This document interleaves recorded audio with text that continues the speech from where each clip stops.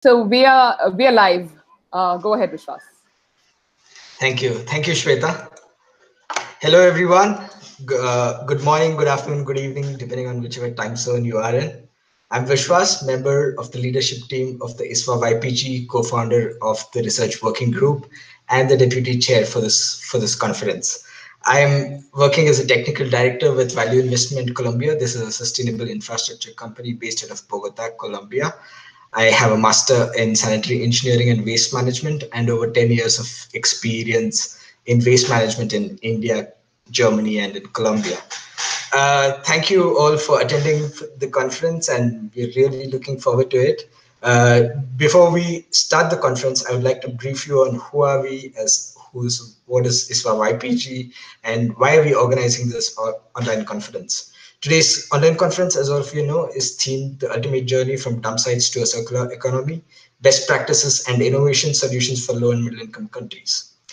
The, just to give you a background, the ISWA YPG is a large group of professionals under the age of 35 in over 40 countries. We have over 100 members across different time zones. And we started in 2013 in Vienna with the four main objectives. First is to promote sustainable production, consumption, and disposal practices. Second is, of course, knowledge sharing and be best practices sharing across the world. Third is to collaborate to find solutions to both local and global waste management problems. And the fourth is to help young professionals advance in their careers. We, in 2013, at the World Congress in Vienna, the group was formed, and then we started meeting every year in, in different World Congresses. We met in Sao Paulo, and then Belgium, Serbia, uh, Baltimore, Kuala Lumpur, and this year in Bilbao. But during the years, the YPG has grown very diverse. So we now have working groups uh, within the YPG focused on communications and uh, communications, education, uh, uh, research, which which is basically hosting this conference group, and various other groups. In 2015, we started something called as the mentorship group, where you have really big experts within ISWA mentoring young professionals build their career or in whichever field of uh, waste management they choose to.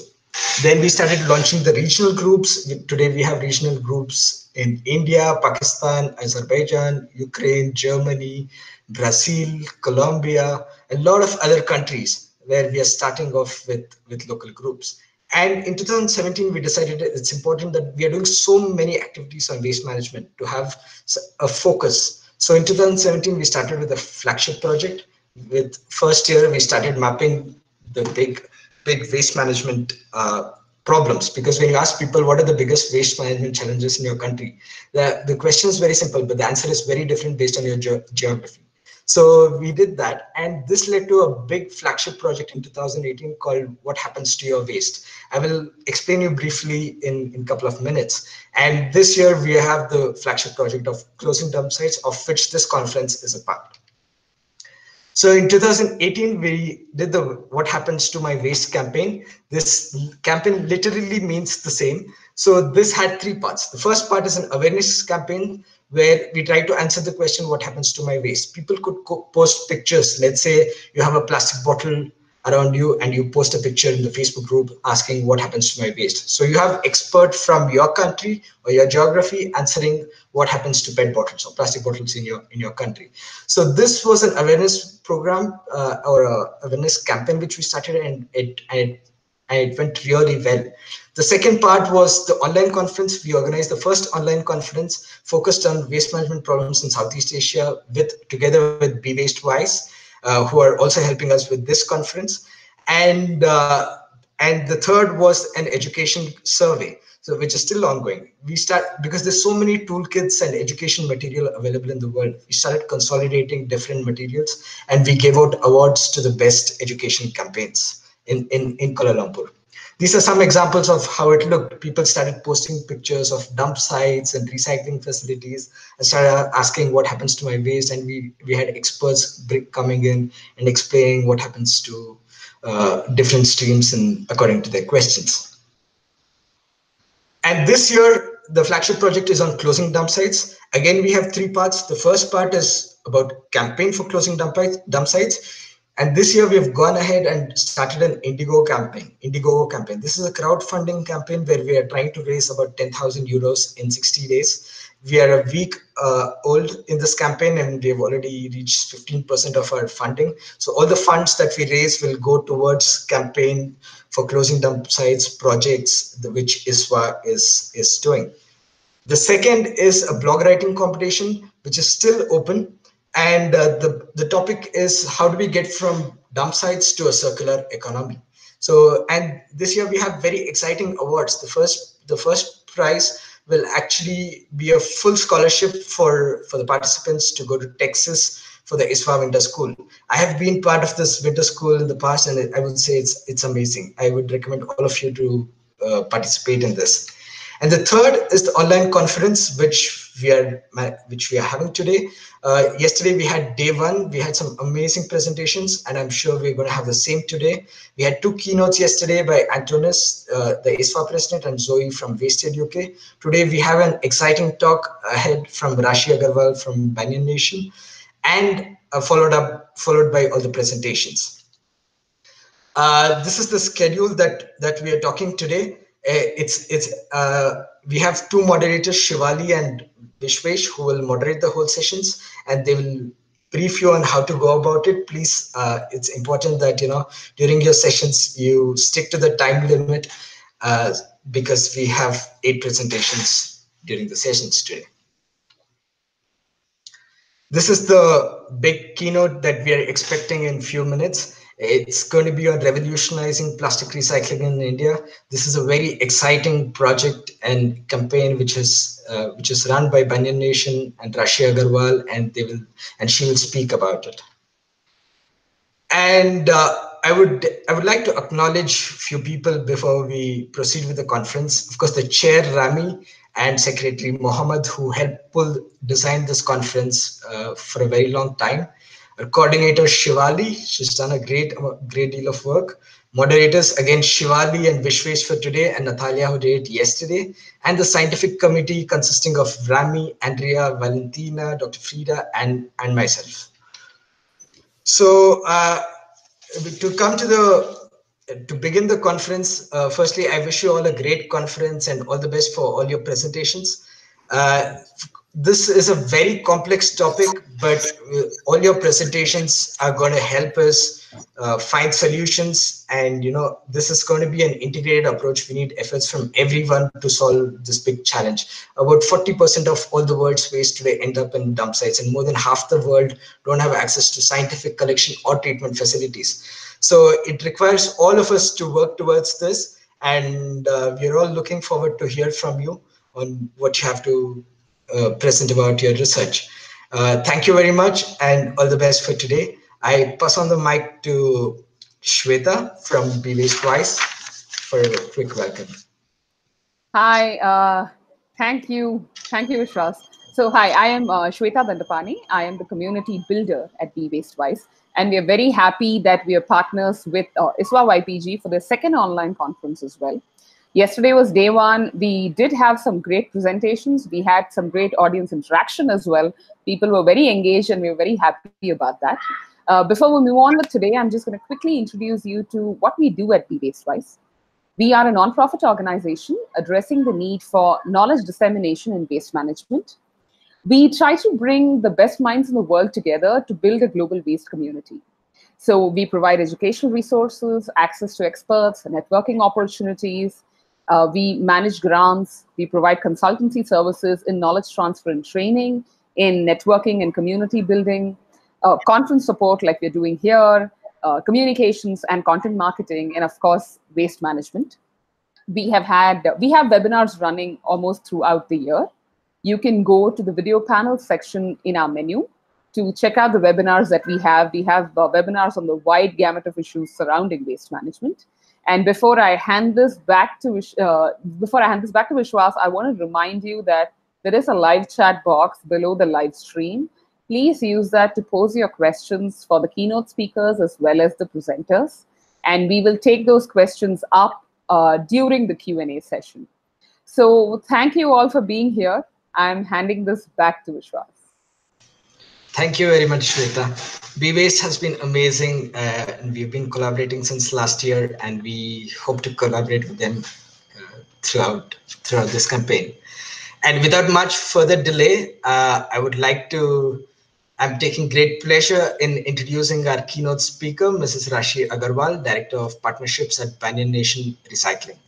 Rashi is the Director of Partnerships at Banyan Nation, an award-winning plastic recycling and waste management company based out of Hyderabad, India. Prior to Banyan Nation, Rashi headed the India office of the Impact Investment Exchange, where she helped several social enterprises across South and Southeast Asia raise capital. Rashi has an MBA from Columbia Business School and electrical engineering and economics degree from the University of California at Irvine. Let's welcome again Mrs. Rashi Agarwal. Uh, Rashi, the floor is yours. Hi, everyone. Um, glad all of you. Is my can you guys hear me? Yes, yes, Rashi. Great. Um, so uh, glad everyone can join from uh, various time zones and at uh, you know various uh, conveniences from offices and homes. So um, great to have all of you here, and I'm glad there's such a community of uh, you know young people that uh, want to work in uh, in the waste management uh, field. So I'm happy to be speaking today. And um, what I want to speak about today is what needs to be done to uh, create a revolution around uh, plastic recycling in India today. Right. So I'll begin by uh, telling you about what the challenges are uh, in the plastic recycling uh, value chain in India, and then move on to uh, how we at Banyan are uh, addressing the problem, right? So I will share my screen.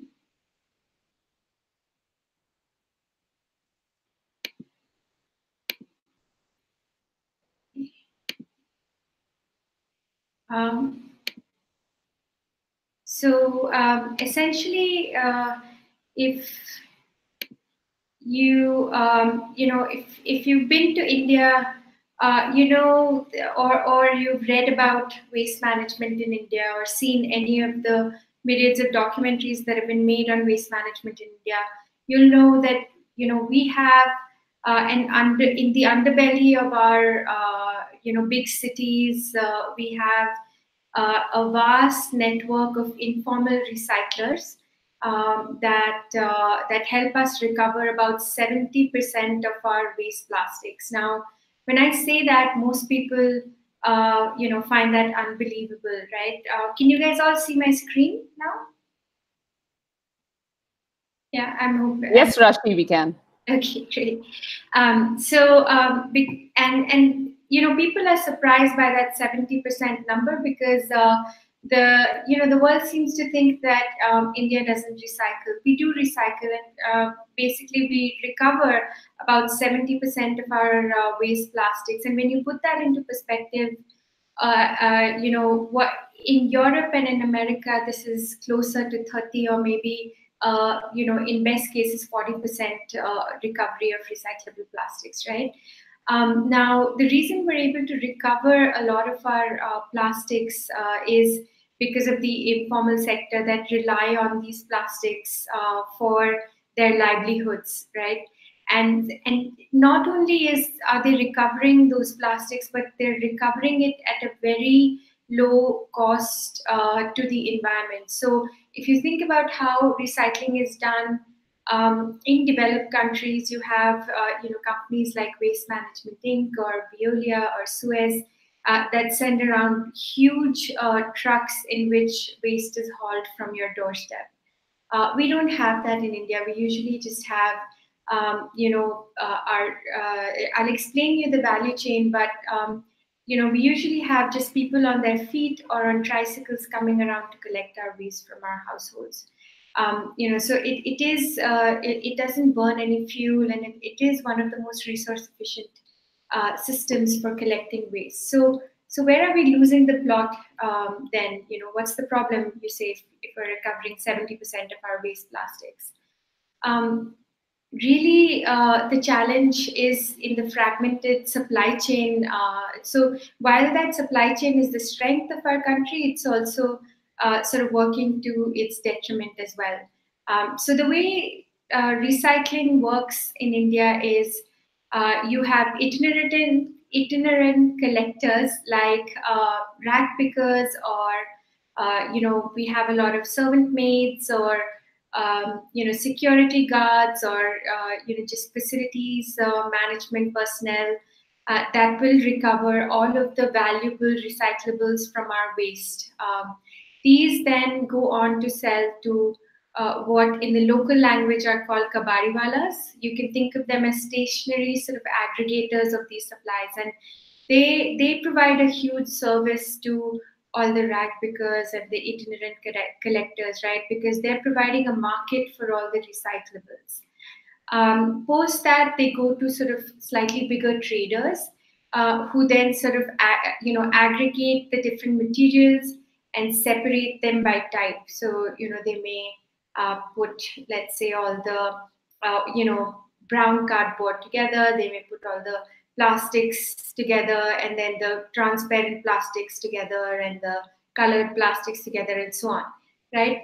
And then from then on, it goes to uh, what is a small scale recycler, right? So to the very right of your screen, um, you'll see, uh, you know, one of maybe 500 or so small scale recycling units that are running uh, in Hyderabad. Now, I have all respect for the work that they do, but uh, sometimes they, uh, you know, they they basically uh, put both the environment and their own health at risk when they're running such informal operations because uh, plastic is, uh, you know, very very complex polymer and you know has to be recycled in a scientific way and and when you mix different resins or when you uh, sort of uh, recycle plastic uh, that is contaminated with let's say lead or mercury or has uh, you know chlorides in it or bromides in it uh, you know you're you're essentially putting yourself at risk uh, because you're inhaling all those gases that are released and you're also putting the environment at risk uh, because if you've used water to clean those plastics and you're discharging them in the ground or not um, sort of capturing all the emissions from your operations, uh, then you're, uh, you know, the, you end up creating a lot more pollution. And basically, that's the problem uh, that we are sort of looking to solve is, uh, you know, to understand how we can, you know, on one end, work to sort of aggregate a lot of these people, and on the other end, uh, bring in technology that helps uh, create a much more valuable uh, version of that plastic at the other end, right? And it'll only be valuable when it's contamination free and uh, when it when it has uh, high value high value applications in mainstream products. So what happens today after the uh, sort of small scale recyclers are done is that most of this plastic is uh, relegated to informal uh, applications uh, and uh, which are like toys and articles that are made of contaminated uh, plastics. Um, one of the other challenges is the lack of market intelligence. So the photo that you see there is of a typical plastic uh, segregation operation where so, you know segregators and sorters sit and segregate plastics by what is known to them. So they'll bend and bite and burn uh, to segregate plastics. Uh, but the challenge is, uh, while that method works to a certain degree, um, you know, it does end up creating a lot of resin pollution. Um, so you have, uh, you know, sometimes PVC will get mixed with PET, and you know that's not very uh, very good. Or you'll have, uh, you know, HDPE and polypropylene uh, mixed as well, right? So uh, the moment we mix, uh, uh you know, resins, uh, we're we're already creating huge problems on the recycling end because um, you know all the resins have different melting points, and some of them even release contaminants like chlorides and bromides and um, you know phthalates and things like that. So it's it's very hazardous when you don't have the the right intelligence to segregate plastics. Um, and the other sort of challenge, as I mentioned, is the lack of, uh, you know, a proper recycling uh, technology, right? So uh, knowing uh, what is the right way to sort of, um, uh, you know segregate and then clean the plastics and rid it of all the contamination. So as a result, what happens uh, in our country is even though we have a 70% recovery rate for plastics, we don't have basically adoption by mainstream products uh, for uh, uh, for you know whether it's their products or their packaging, right? So the examples we have here are you know personal care and home care products or auto segments. so these are just the industries that we've sort of uncovered with our work that we're doing in the country. Uh, but there could be so many other applications for uh, recycled plastics that have not been uncovered. And you, you almost never in India find uh, mainstream brands claiming that they have recycled content either in their products or their packaging because it's largely associated with, um, you know, uh, that either like really uh, faulty supply chains or you know that they're in some way inferior in quality and things like that. Um, so that's that's basically uh, uh, you know the challenge that we're looking to solve uh, as Banyan Nation. Uh, we're about a, you know six-year-old company, and uh, so how are we really solving this problem? Uh, like I said, there are two problems that we're solving. One is integrating the supply chain for plastics, re the recovery of plastics and on the other end, we have um, you know plastics processing technology uh, that we're solving for. Um, so in terms of integrating, uh, it's important that um, uh, you know we get all the uh, market intelligence on uh, how the plastics are flowing through the system, whether it's ocean-bound plastics or uh, you know plastics flowing through our cities or plastics being handled by the informal sector.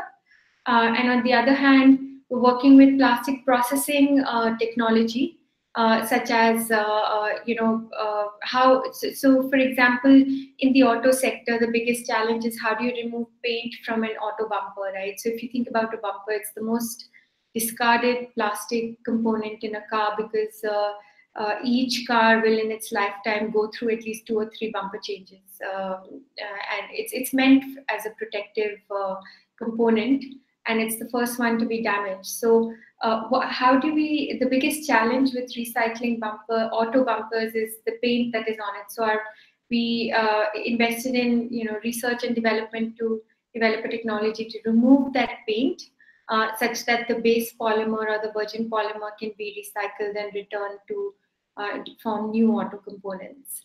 Um, similarly, we did, uh, we invested in um, sort of R&D for um, you know, all the contaminants that are prove challenging for FMCG packaging, uh, right? So this is personal care products, home care products, uh, fabric care products, and things like that. Um, and then uh, we also need to think about that our plastic recycling process itself should be the most resource and uh, energy efficient. So, for example, um, if you uh, plastic recycling uses a lot of water, uh, so it's it's essential that those uh, that those of us that recycle uh, also keep in mind that we must recycle our water, our solvents, um, and everything uh, that is involved, uh, so that we're not actually polluting the environment or you know creating a bigger footprint with the resources that we extract in the process as well. Um, so uh, to, to put that into sort of, uh, you know, case studies, uh, we uh, st started our first sort of uh, foray to FMCG packaging with uh, L'Oreal, which is a global brand that makes personal care products. And basically using our, um, you know, um, recycled plastics. They were able to introduce uh, recycled content uh, in various brands of their uh, packaging, right? And um, the, the challenge that we've solved uh, for those of you uh, in the audience that are chemical engineers or are polymer scientists, uh, you will appreciate is that you know there are there are various ways in which plastics can be manipulated to form packaging or objects and blow molding is one such technology. And it's also the most sensitive of the plastic uh, um, you know uh, manipulating technologies which means that uh, even if there's you know slight bit of contamination uh, the bottle will not form because it's literally like you put um, you know polymer in a cavity and you blow air through it to form a bottle. Uh, right? So uh, you can imagine that if you're blowing a balloon and if there's a little bit of a uh, you know contamination in the uh, in the surface the balloon will uh, burst right? So you will either get blowholes or you will get serrations on the surface but uh, but our plastic the technology that we've developed is clean to such a high degree that none of those problems exist and we're able to um, use this plastic in, in packaging, right? Um, the other challenge that we solved, of course, like I spoke about, was removing paint from bumpers. So Tata Motors, which is an Indian automotive company, has been able to introduce, uh, you know, plastic recycled plastics in um, their automotive bumpers as a result of uh, our process. Um, so again, to reiterate, the basic capability that uh, that is needed uh, on one end and that we bring is to be is to be able to remove all of the contaminants from plastics uh, and also be able to recover uh, you know water and solvents uh, from the process so that you know you don't end up creating a bigger impact on the environment by recycling than by not recycling right um, so that's something that we have um, invested in and uh, strive to do better in each iteration of our work uh, every day. And on the other end, uh, you know, we work with thousands of, um, you know, informal uh, uh, sector uh, sort of aggregators of plastic. so what you see on the very left of the screen is a map of Hyderabad, the city we're in right now. And each dot on the map represents uh, one kabadiwala or one stationary recycler. And among them uh, we sort of categorize them by um, you know the uh, the quality of supplies uh, that they bring to our doorstep. Uh, and we basically uh, you know work with them to assess what quality of goods they're bringing what how how much quantity they're trading with us um, you know, and uh, and over time train them so that they can earn better uh, uh, better prices for the plastics that they recover as well. So just to uh, you know give you an example, a typical sort of recycle uh, you know collector or uh, segregator of plastics in India would make 14 to 15 to a maximum of 18 rupees for mixed plastics that they sell in the market.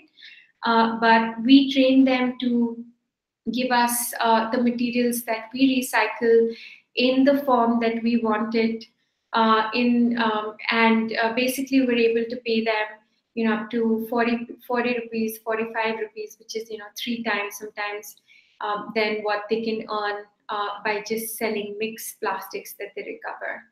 Um, so this is uh, really something that's um, you know uh, helping the the supply chain as well. And uh, you know, one thing is that, um, you know, since we're a company that works with mainstream brands such as, uh, uh, you know, Unilever and Reckitt Benckiser and L'Oreal and, um, you know, Shell and Castrol and all of these mainstream brands uh, are engaging with us now to use our recycled plastics. Um, they're, they're also now parts of formal supply chains and not and, and are not relegated to just being an informal uh, waste recycler uh, anymore, uh, right? So, um, and uh, we also work with cities. The uh, the map that you see in the middle is a map of a city that's about 200 kilometers uh, from where I sit in Hyderabad, and this is a, this is a medium-sized city in our country. And basically, we help the city build a platform to track all of their waste management uh, assets like uh, uh, the tricycles and the trucks and um, um, and uh, also there are people like um, you know in India the biggest sort of predictor of how clean a uh, a given um, city is uh, is you know basically how many waste workers show up every day to work. So we help them track metrics on that. We help them track um, you know waste collection metrics and so on, and that really sort of help them improve their waste management uh, metrics by you know some in some cases in some metrics improved over 60% uh, over a course of six months And um, we also worked um, with uh, Dell that are uh, that wanted to understand the impact of uh, you know plastics that enter the oceans through um, you know uh, through rivers and uh, tributaries and uh, feeder bodies. And so we um, you know help them sort of understand um, the the interplay of uh, the plastic hotspots uh, in a city like Chennai, that's a coastal city in India, um, uh, along with where how what role the uh, you know informal sector or these uh, kabadiwalas that I spoke about uh, play in recovering those ocean-bound plastics as well.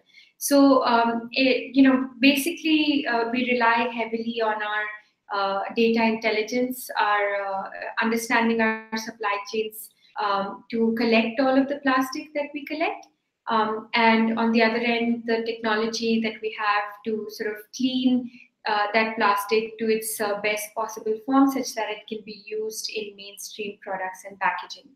So um, given uh, that work and basically, uh, you know, that, that's, that's essentially what we think is needed to create a plastic revolution, plastic recycling revolution in India, uh, because um, it's similar to uh, a milk revolution that happened in our country uh, you know in the 70s and the uh, you know earlier part of 80s because uh, if you study the history of uh, you know milk production in india you know we used to be a milk deficit country because largely the you know the way milk is farmed in india is through small farmers that own you know one or two or three or ten cows right uh, it's not done in sort of industrial scale milk production farms uh, the way it's done um, in, in Europe and, Amer- uh, and America.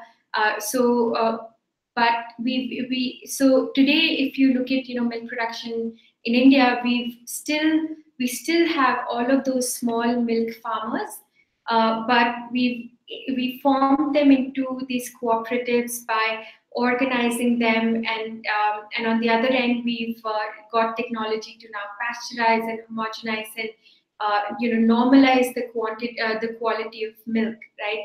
And that essentially led india to become a, now a milk surplus country and we actually are one of the largest exporters of milk and milk products right and so uh, that's essentially the intervention that we seek to, as a company, create in the plastic recycling value chain in India is that we want to rely on the informal sector. We don't want to uproot them or replace them in any way. We want to organize them better. We want to train them better.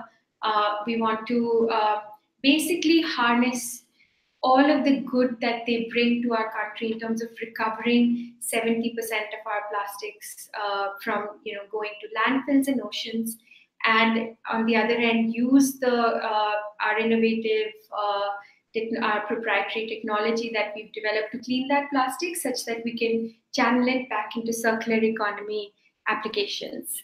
And um, so we've won a few awards uh, for the work we've done including uh, the Circular Economy um, Award at the Circulars at uh, the World Economic Forum in uh, 2018. We've won awards from the Indian government, um, and you know we've been recognized by the Rockefeller Foundation City Exchange as one of the promising waste management uh, solutions. Um, so um, and based on and it's it's it's largely been possible because of the team uh, we have here. Uh, the co-founders of the company are uh, yeah, Mani and Raj, who uh, you know come from Silicon Valley experiences and uh, brought some of their technology uh, passion for technology and technology expertise into waste management. Uh, we rely heavily on Venkat, who is a part of our supply chain team and brings tremendous amount of uh, knowledge of the informal sector from working in microfinance in India.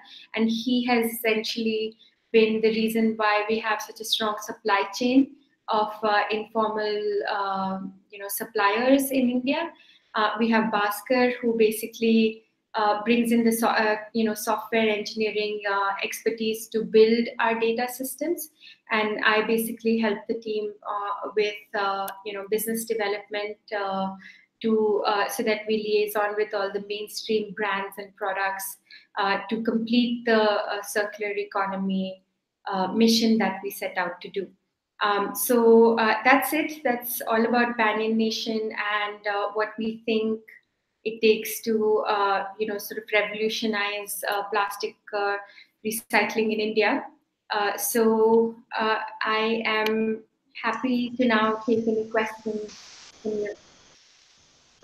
Yeah, thanks a lot, Rashid. That's that's an incredible presentation, and congratulations. You're leading the circular economy re revolution in India. I would say we've got a lot of questions for you, of course, uh, but I would cho randomly choose a couple of questions and post them to you. Uh, the first one is from Vekesa. How is the cost distributed in a in a way such that the cost of recycled plastic is competitive as opposed to virgin plastic? Right, and that right off the bat is a very difficult question, but a, a great question to ask. Um, so uh, I'm sure uh, all of you know that you know the virgin plastic prices are volatile, right? So they are entirely sort of uh, pegged to petroleum prices. So uh, you know uh, something happens in the Middle East or America, and the prices tank, or you know something uh, or whatever so, you know, these are entirely, uh, you know, economic and uh, uh, sort of geopolitical cycles that dictate the virgin plastic prices. Now, that's not quite the same for, um, you know, um, recycled plastics, right? Because the, this is this is something that is uh, completely uh, reliant on the informal sector that essentially sort of puts the price of labor to that plastics, right? So these are, uh, so they, it's a product that has already had its value once, and we're creating a value for it uh, a second time or a third time around, right? Um, so now uh, these are, uh, so we try not to compare the price of virgin and um, recycled plastics. That said, unless it is competitive, people will not use recycled plastics, right? So um, we the way we convince brands to look at pricing is that in the long term um, the uh, recycled plastics will always be cheaper than virgin plastics. However in short term cycles like if you if you spoke to me last year this time virgin uh, uh, virgin uh, the recycled plastic was significantly cheaper than virgin. But if you talk to me today they're at the same cost right so, uh, so it really depends on where the uh, virgin pla uh, plastic prices are, uh, whereas recycling uh, uh, prices remain consistently the same. And in fact, a lot of companies see that as a hedge because you know it, it tends to normalize their uh, their cost of production as well, right? So you have a resource uh, on one end that is highly volatile and, and, you know reliant on global cycles, whereas you have another uh, that is less so, right? So if, if you have a percentage of both, then you're sort of hedging uh, your pricing uh, for whether it's your product or your packaging as well. So great question, thank you. Thanks, thanks a lot. The next question is from Karthik from Munich. Uh, his question is, is EPR framework used by you to fund recycling for bigger chains? So are you using the EPR policies and these kind of initiatives? Um, yeah, so uh, I, I, I, definitely think that the EPR policy is a step in the right direction for countries like India. Uh, however, uh, a lot needs to be done in ways of implementation of such policies right? So uh, we're, we're, fairly new to EPR laws and things like that. Uh, and uh, what, what that means is there's a lot of uncertainty about the implementation of the laws. So um, each uh, company is interpreting the EPR laws in their own ways, uh, right? So, um, and uh, honestly, we as a company want to do this work regardless of whether that framework exists or not right? Because essentially, if there's a market for recycled plastics, it should exist independent of whether there are subsidies uh, offered or um, you know uh, basically uh, you know incentives offered by the government or by brands right that said uh, what things like epr laws do is that they force brands to take ownership of the waste that they put out and which helps companies like us to sort of drill in the message of uh, uh, you know circular economy with these brands. So i definitely think it helps. Uh, i definitely think there's a long way to go in terms of really implementing implementing epr frameworks and epr laws. Uh, but uh, yes it's definitely a step in the right direction. It it helps companies like us uh, sort of channel our message better great thank you the next question is from shivali uh, so the question is basically in India, there's a lot of manual sorting of plastic that happens. Mm-hmm. Uh, do you find it a problem to procure specific qualities and quantities? And do you think mechanical sorting would enable recyclers like you uh, recycle better? Uh, yes, I mean, uh, so I think, uh, like I said, we, we don't want to take away from the work that this informal sector is doing, right? So uh, there, there are literally millions of people in our country that rely on this trade uh, for their livelihoods. So uh, we don't want to take away this uh, from them uh, tomorrow, right? So how can we then solve the problem without sort of hurting uh, that demographic? So we basically what we've done is we've we engage in a, a lot of training of these uh, informal suppliers, right? So, for example, we collect a lot of low grade HDPE material, right? And uh, we've trained them to sort of recognize the triangle with a two uh, that is at the bottom of uh, most of the uh, bottles, right? So, two is the universal symbol for HDPE uh, plastics. And slowly over time, they have everybody can read two, right? Even with even the lowest literacy people can read it too.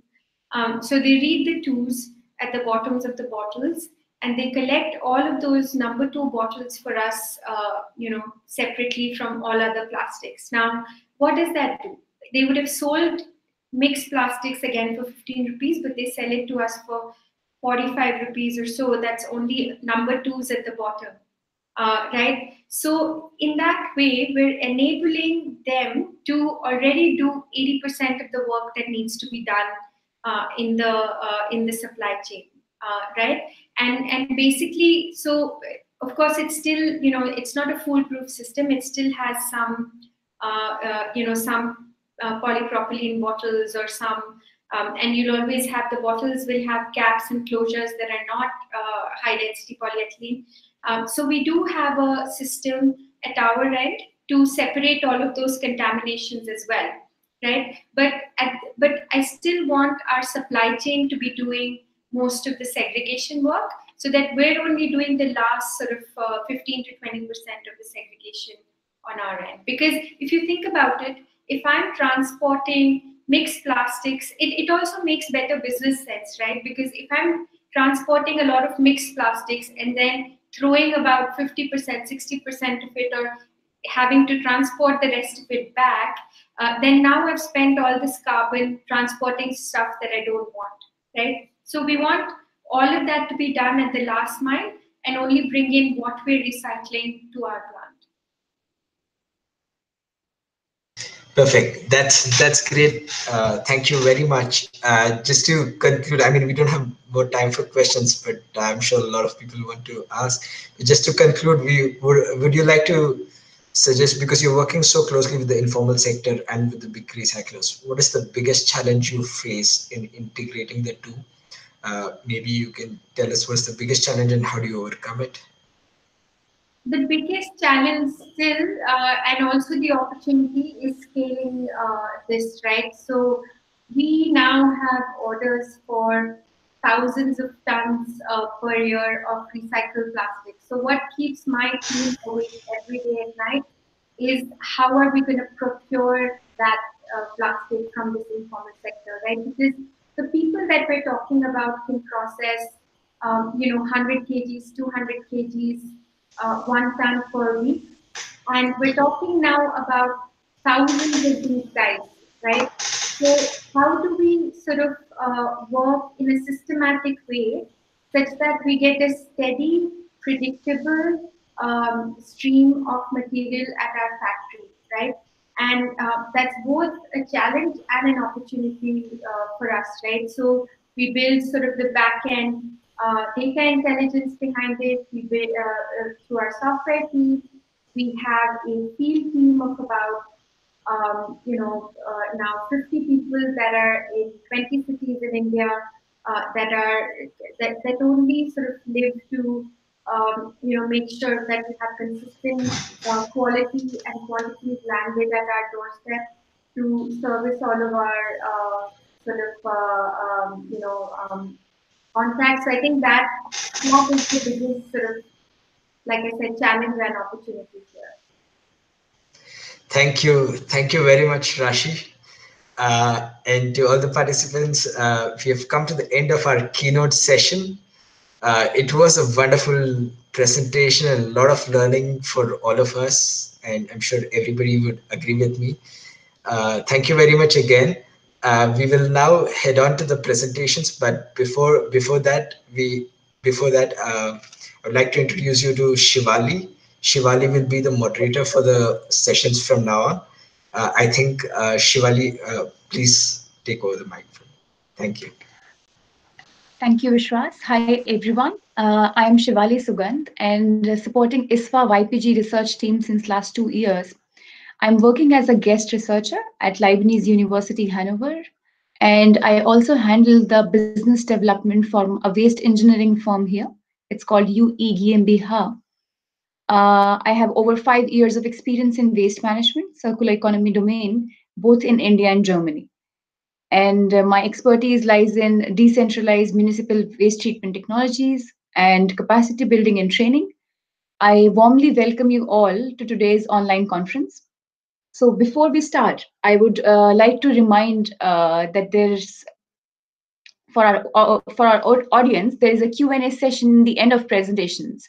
So please submit your text questions for each presenter by typing your question into the attendee interface that you see, that you see. And please mention your name and state to which presenter you want to forward your question. Uh, now, without a further ado, I would like to welcome our first presenter, Ms. Sania Rafiq from Pakistan, who's presenting the title Removal of Textile Dye using Electrocoagulation. Sania is a recent graduate. She's done her bachelor's in environmental engineering. She has received many awards and has worked in over 20 projects during her bachelor's. Sanya, your floor is yours. Please go ahead.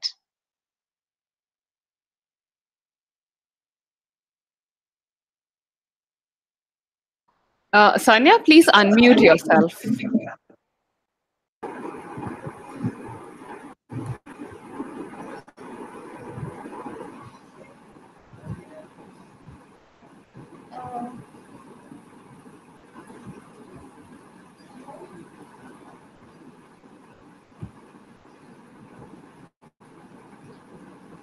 Okay. Uh, thank you, Vice Team, for the invitation. Today, I'm here to discuss the most important uh, aspects, which is the waste management practices. Coming towards the problem statements.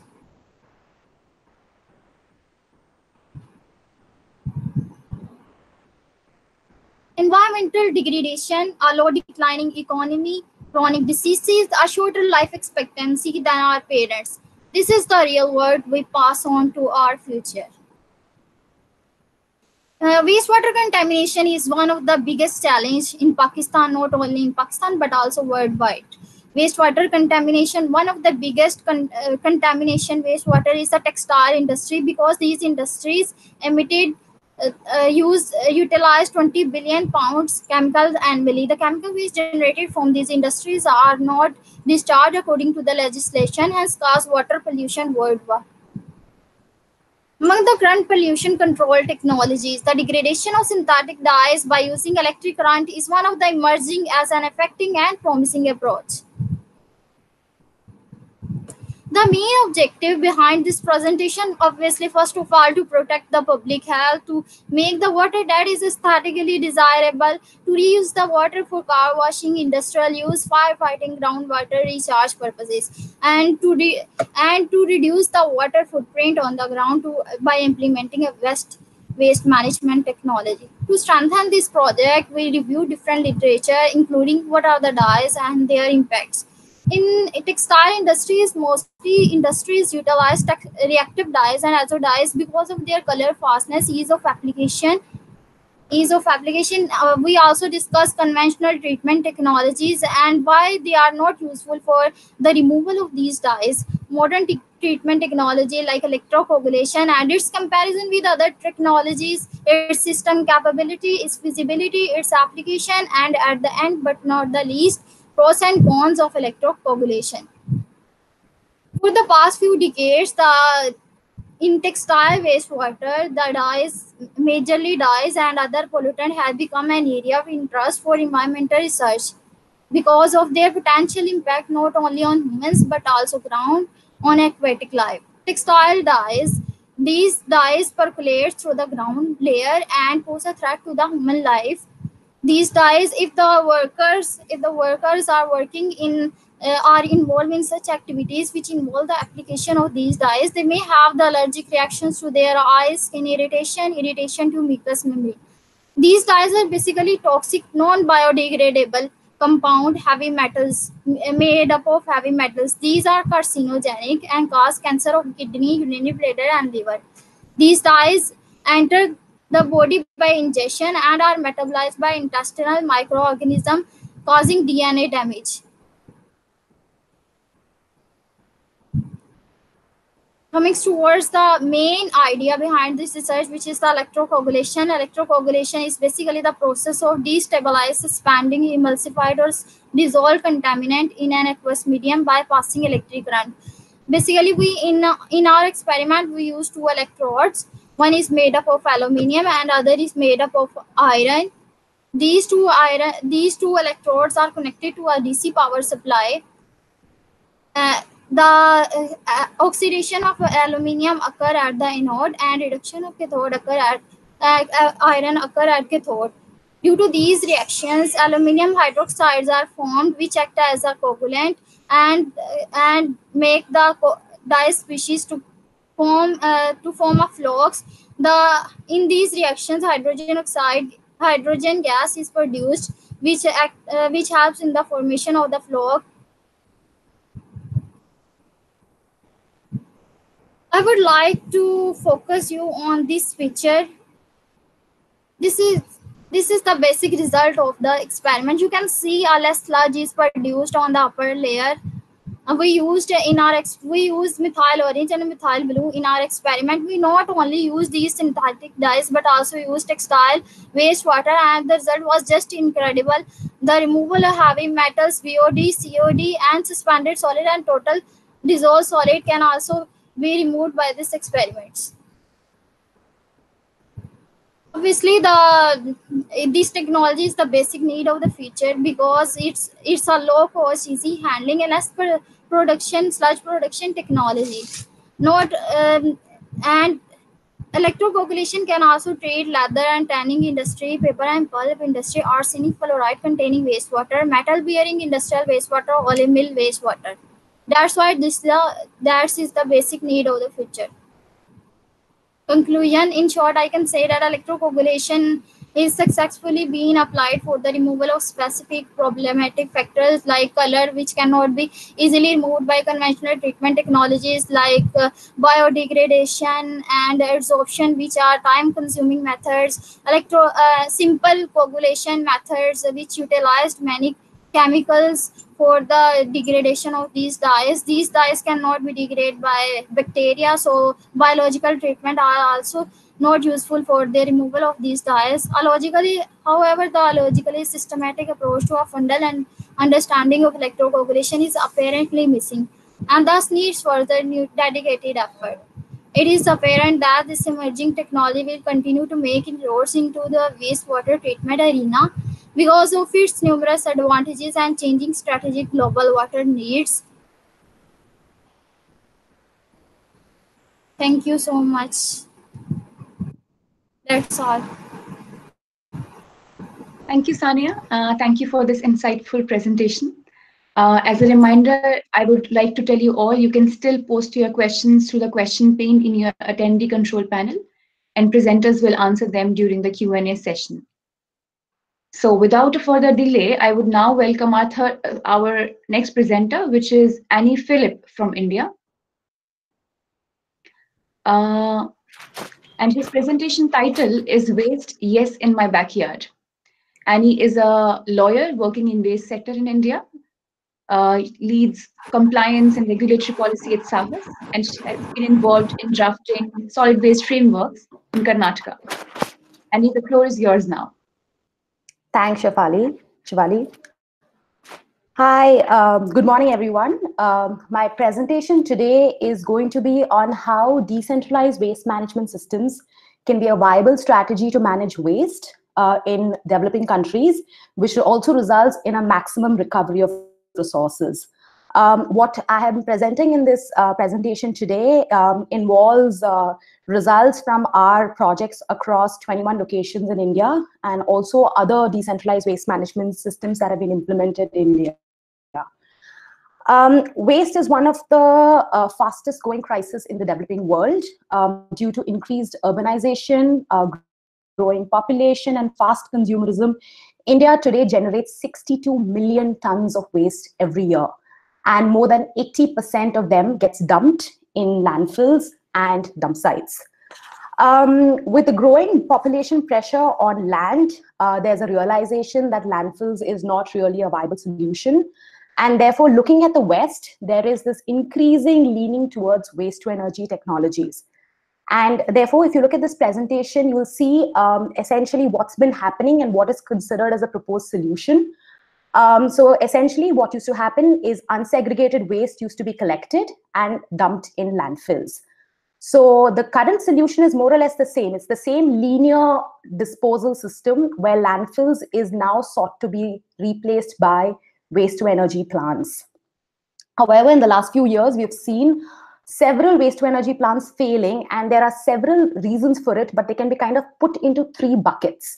Uh, the first bucket is the fact that the waste in India is unsuitable for incineration.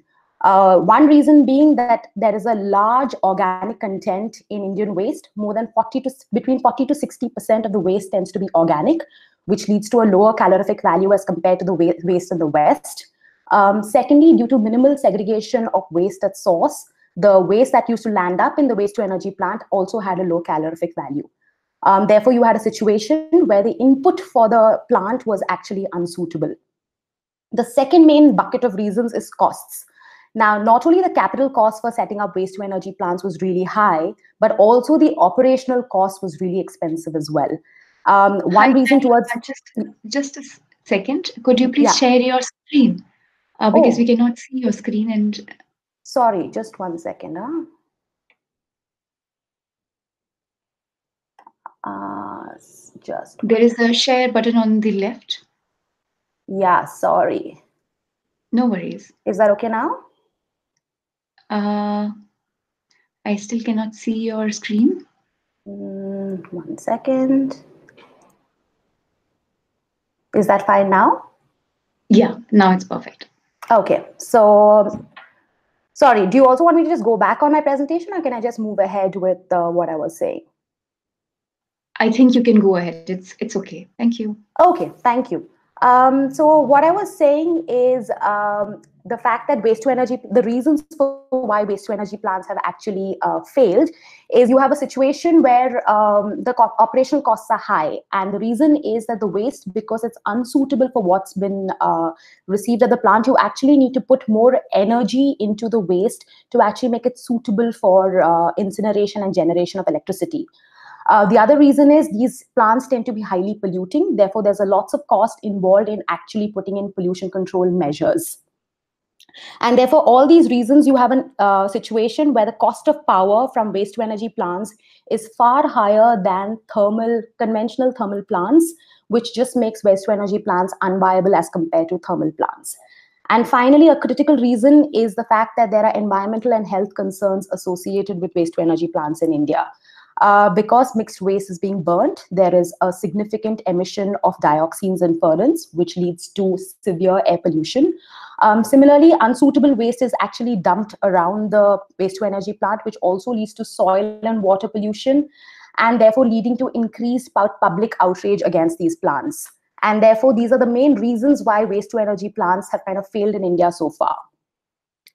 And uh, due to these reasons, there has been an increasing sort of realization that we need to find a solution which is more contextual and more local to Indian needs. And that's where decentralized waste management systems have come in. And if you can look at the slide, uh, this essentially gives an overview of what decentralized waste management systems are and what is it that we have, we and others have implemented across the country. Um, so the first step is to ensure that waste is segregated at source. Uh, and this source could be a, a, a, community, it could be a large waste generator, such as an educational institution or a technology park, which at one source generates a lot of waste. Um, once you have segregated waste at this source, um, like I had mentioned, that more than 40 to 60% of the total waste tends to be organic. So the idea is to treat the organic waste on site to the extent possible. So this could be either through compost or biogas. Um, if the premise does not have place, the, the solution is to take the organic waste to the closest community organic waste management center where it's turned into com compost or biogas. So the only real waste which is kind of left over to be transported is the non-biodegradable waste, which gets transported to the closest aggregation center. And this is where the waste gets sorted into different categories, where the recycled fraction of the uh, non-biodegradable waste gets sent to recycling plants where it gets recycled into new products. And this is where we are looking at closing the loop and circular economy, while the non-recyclable fraction actually goes to cement plants uh, for co-processing along with fossil fuels. Uh, sending non-recyclable waste to cement plants is a viable option in India because uh, India has the second largest cement industry in the world. And therefore, you have a situation where there's a ready-made destination for non-recyclable waste. Uh, the next few slides are essentially photographs of these solutions that have been implemented across the country by us. Uh, the first slide uh, in this regard talks about management of biodegradable waste, uh, where the first set of pictures are of community facilities where waste from communities get treated at community uh, organic waste management facilities. The second set of photos are actually of on-site facilities. So this is a waste management unit in a technology park which generates more than two tons of waste every day. So they have a compost unit where the organic waste is uh, treated while the non-biodegradable uh, waste is actually transported out of the uh, technology park. And to the extent there is no place available with the uh, generator, it goes to, the organic waste goes to decentralized biogas plants for uh, biomethanation. Um, these set of photos essentially show what happens to the non-biodegradable waste, uh, where the waste is first aggregated at a materials recovery facility, then gets sorted into 14 to 16 categories on the conveyor belt. Um, then it gets baled, and the recycled fraction goes to the recycling factories, while the non-recyclable portion goes to cement plants for co-processing. Um, this slide essentially shows you the different kind of recycled products and how closing the loop can happen with several fractions of waste. Uh, the t-shirts that you see on the top left corner are actually made of, each t-shirt is made of 12 PET bottles. Um, so therefore you have um, PET being recycled into yarn and then made into garments. Of course, paper gets uh, recycled into other stationery products. Uh, the one you see on the left bottom corner is actually discarded Tetra Pak, which is turned into a board and roofing sheets, which can be used as a conventional plywood and roofing sheets. And of course, uh, discarded fabric and textiles can be upcycled into other products as well. So um, coming to what has been the impact of decentralized waste management uh, systems that we have implemented across uh, different locations. The first impact is social impact. There is a generation of livelihood. And that livelihood we have looked at is 250 permanent jobs. This is more than 250 permanent jobs with 60% uh, uh, with 60% of these jobs being taken by women from base of the pyramid. Um, the next major impact that we have seen is environmental. Uh, we've managed to divert 18 tons of waste from landfills every day. And finally, the recovery of resources here has been uh, phenomenal, where we have, we have seen more than 85% of waste which has actually been recovered as resources. So the impact of decentralized waste management systems is not only environmental, but also social. And just to conclude, um, based on our experience with decentralized waste management systems in India, we believe that these systems can work in other low and middle income countries as well. And the main reasons for it is kind of set out below, uh, where we believe that the waste characteristics across developing countries that we have looked at in South America, Africa, and Asia, the waste characteristics are similar, where an organic fraction of the waste constitutes more than 40 to 40 to 60%, which is similar to India. And therefore, composting and biogas on a decentralized manner can actually be a viable solution. Uh, the overall costs are cheaper. The transportation cost is cheaper, and uh, and that is because the amount of waste that needs to be transported is less because of on-site organic waste management, and the distances um, on which the the non-biodegradables have to be, be transported are lesser. Uh, the decentralized systems tend to be smaller, less mechanized, um, uh, have uh, lower pollution control measures to be taken, and therefore the overall operational cost of decentralized systems is less.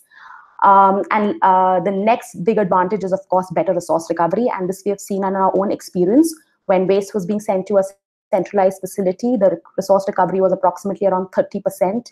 But once we implemented decentralized waste management systems, the resource recovery went up. Yeah, just almost one minute more. Yeah. Yeah, one, one minute more, Shivani. Uh, and the resource right. recovery went up to uh, almost 90 to 95%. So there's better resource recovery.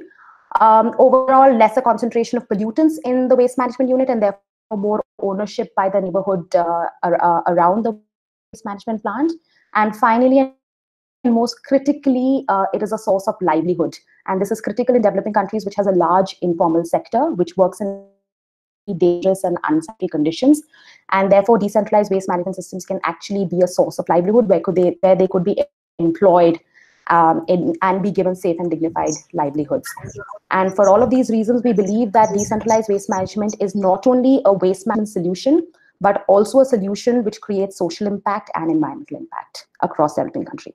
And that's it. Thank you so much Thank you, Annie. Thank you so much for your presentation. Now I would like to welcome our next presenter, uh, T.S. Krishnan from India, whose presentation title would be Understanding India's E-Waste Reverse Supply Chain. Uh, T.S. Krishnan is a manager at Mphasis Next Labs. He's a PhD in Operations and Supply Chain from IIM Bangalore. He's an expert on e-waste supply chain he has professional experience in domains like enterprise software, retail analytics, commodity derivatives, and machine learning. T.S. Krishnan, uh, I would request you to kindly start your presentation. Thank you. Thank you, Shivali. Sorry. Thank you, Shivali. So is my, is, am I audible? Is my screen visible? Is that fine? Yeah, yeah, your screen is fine. Yeah. And I hope my audio is also fine. Thank you very much. So the topic of my presentation today is my doctoral dissertation, which is to understand India's e-waste reverse supply chain. Now, by reverse supply chain is very, in concept, it is similar to the concept of a value chain, which uh, Rashi had explained in the keynote. By what do we mean by a re- reverse supply chain or a value chain is once consumers like you and me and these big bulk generators discard e-waste, where does it go to? Who takes care of it? From there how does it flow to the system? That is the concept of a reverse supply chain or a value chain. And that is what i will be covering in the presentation. In india in 2011 there was a, the, the government came with a legislation called as e-waste rules 2011 to manage the growing importance of e-waste. And what this legislation said was two things. One is it said manufacturers have to take back from consumers that is the extended producer responsibility and it also said that the informal recycling is illegal. If you are informal it's it, you are illegal and it, only the formal recycling sector is the legal one. So these are the two things that the legislation said. Now with this context i'll move ahead with my presentation. Now i studied two questions as part of my thesis. One is uh, in bangalore there was an interesting case of a lot of these informal sector uh, members moving to the part moving to the formal sector so I studied their formalization, what challenges they faced during the formalization phase, and after they became formal, were they still profitable or were, were they still be able to doing a business or not? In the second question, I studied when e-waste is discarded, the, the entire chain, the, how it flows through the system till the point it gets converted into recyclables. Either it reaches the second-hand market or either metals are extracted from it. So these are the two key questions which I studied. And to answer these questions, I, I interviewed about uh, roughly about 49 stakeholders throughout the supply chain, which includes sources of e-waste, collectors of e-waste, e-waste recyclers, that is the processors, the informal sector, the formal sector, the government officials, a few NGOs, and e and also the, the final destinations, that is the second-hand market participants, the precious metal refiners, and the scrap metal traders. So these are the overall, it was like 49 stakeholders. And apart from interviewing them, I also visited these industry conferences where the formal recycling and the manufacturers who are responsible for product take back, they came and they spoke. So I was also a participant in these uh, industry conferences. So apart from these interviews, there were a lot of direct observation, informal conversation, which I did with the market participants in the value chain or in the reverse supply chain. I'm using both these concepts synonymously, reverse supply chain and value chain. So uh, the, the sources of data collection, one was interviews, one was direct observation, informal conversation, then uh, documents obtained from respondents, and then I also refer the secondary sources like these news databases called Factiva, LexisNexis, Times of India archives, etc. Now, the, the good thing about doing this secondary sources was I could corroborate the evidence which I obtained from the respondents directly. Now, based on all this data that was collected, I put all of them into the qualitative software, which is the NVivo software, which I used for qualitative data analysis.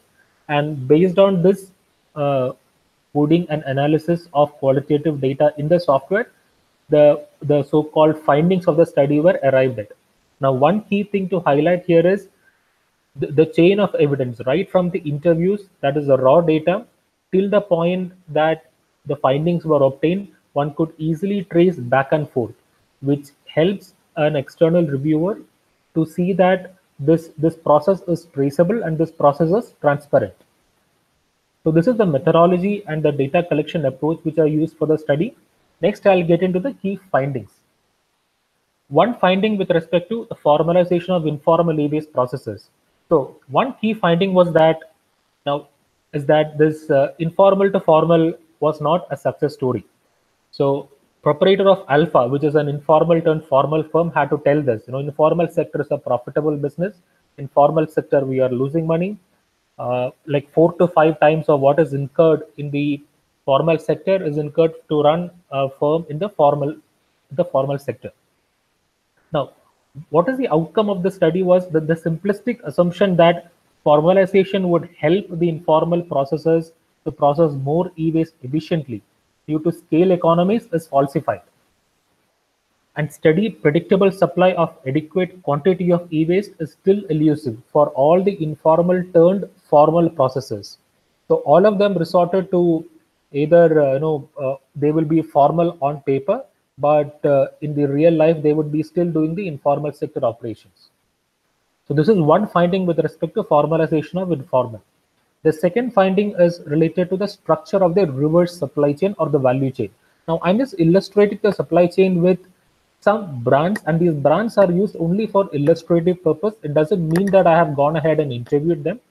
And the image source for this are from the respective websites. The sources include these bulk generators like uh, no the the like education institutions like this uh, product and components manufacturers like AT&S is a major manufacturer of printed circuit boards and then electronic products manufacturers like HAL it also comes through imports. And then there are retail consumers like you and me, which are the major sources.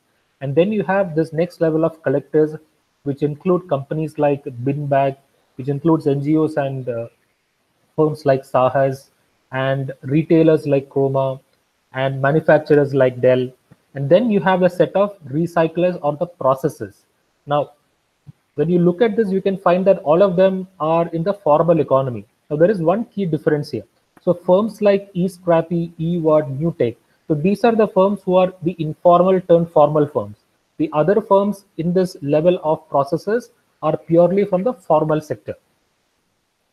Now, in, in, in machinery manufacturing, there are firms like Respos, which, which manufactures machinery for recycling e-waste. For example, peeling the uh, plastic from the wires.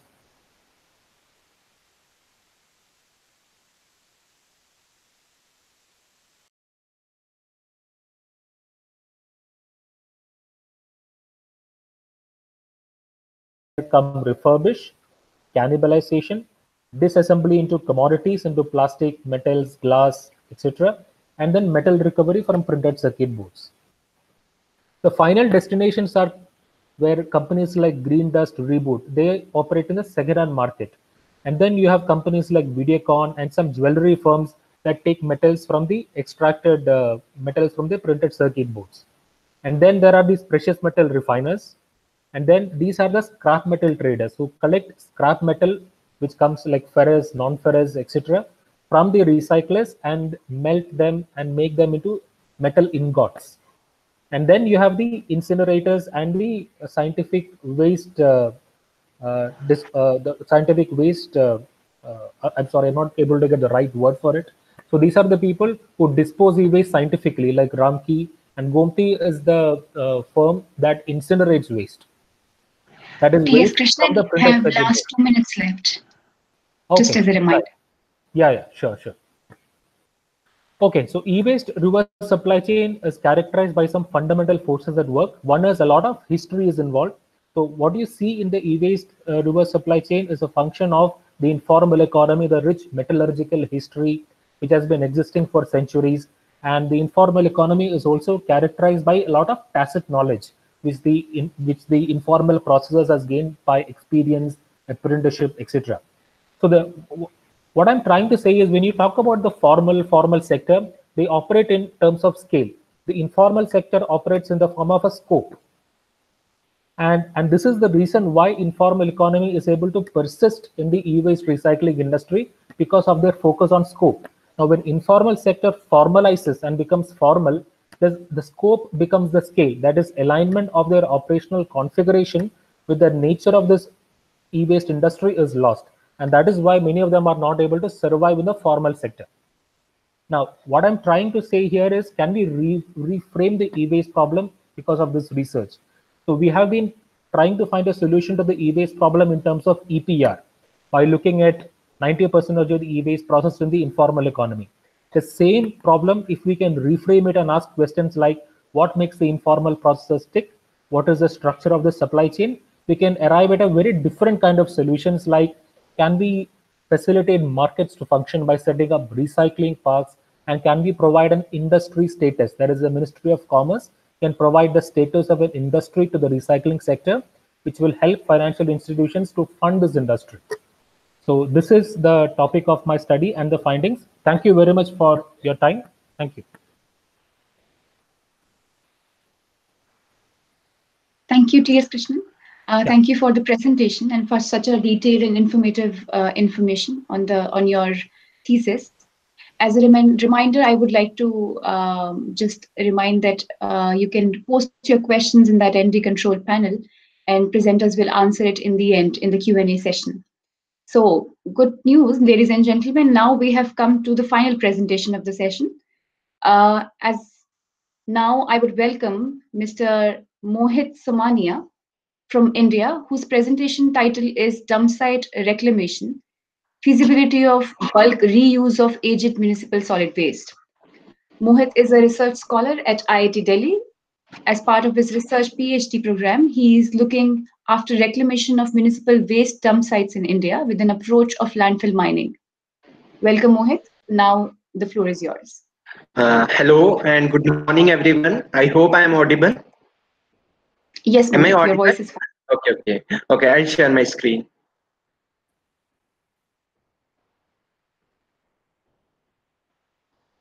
Uh, so, is it visible to everyone? Not yet. Okay. Let me try it again.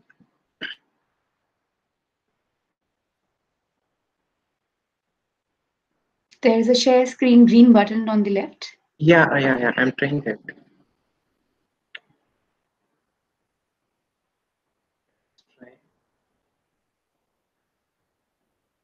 Yes. Uh, now, is it fine now? Yeah, you just have to come on the presentation mode. Okay, okay, okay, okay. Uh, so uh, today I'm here to present the topic of my ongoing research work on uh, dump sites rehabilitation. So the title will be dump sites reclamation, feasibility of bulk reuse of aged municipal solid waste. So just to introduce the topic, just to the slideshow mode. Um, yeah, is it fine? Slideshow mode. You we can just see the presentations in the PowerPoint. Yeah, I'm in the slideshow mode. Uh, not really. Uh, there is this slideshow button in the bottom. You have to press that. It Yeah, will be yeah. full screen. No, it's not full Yeah, screen right I'm- now. Is it okay now? Um,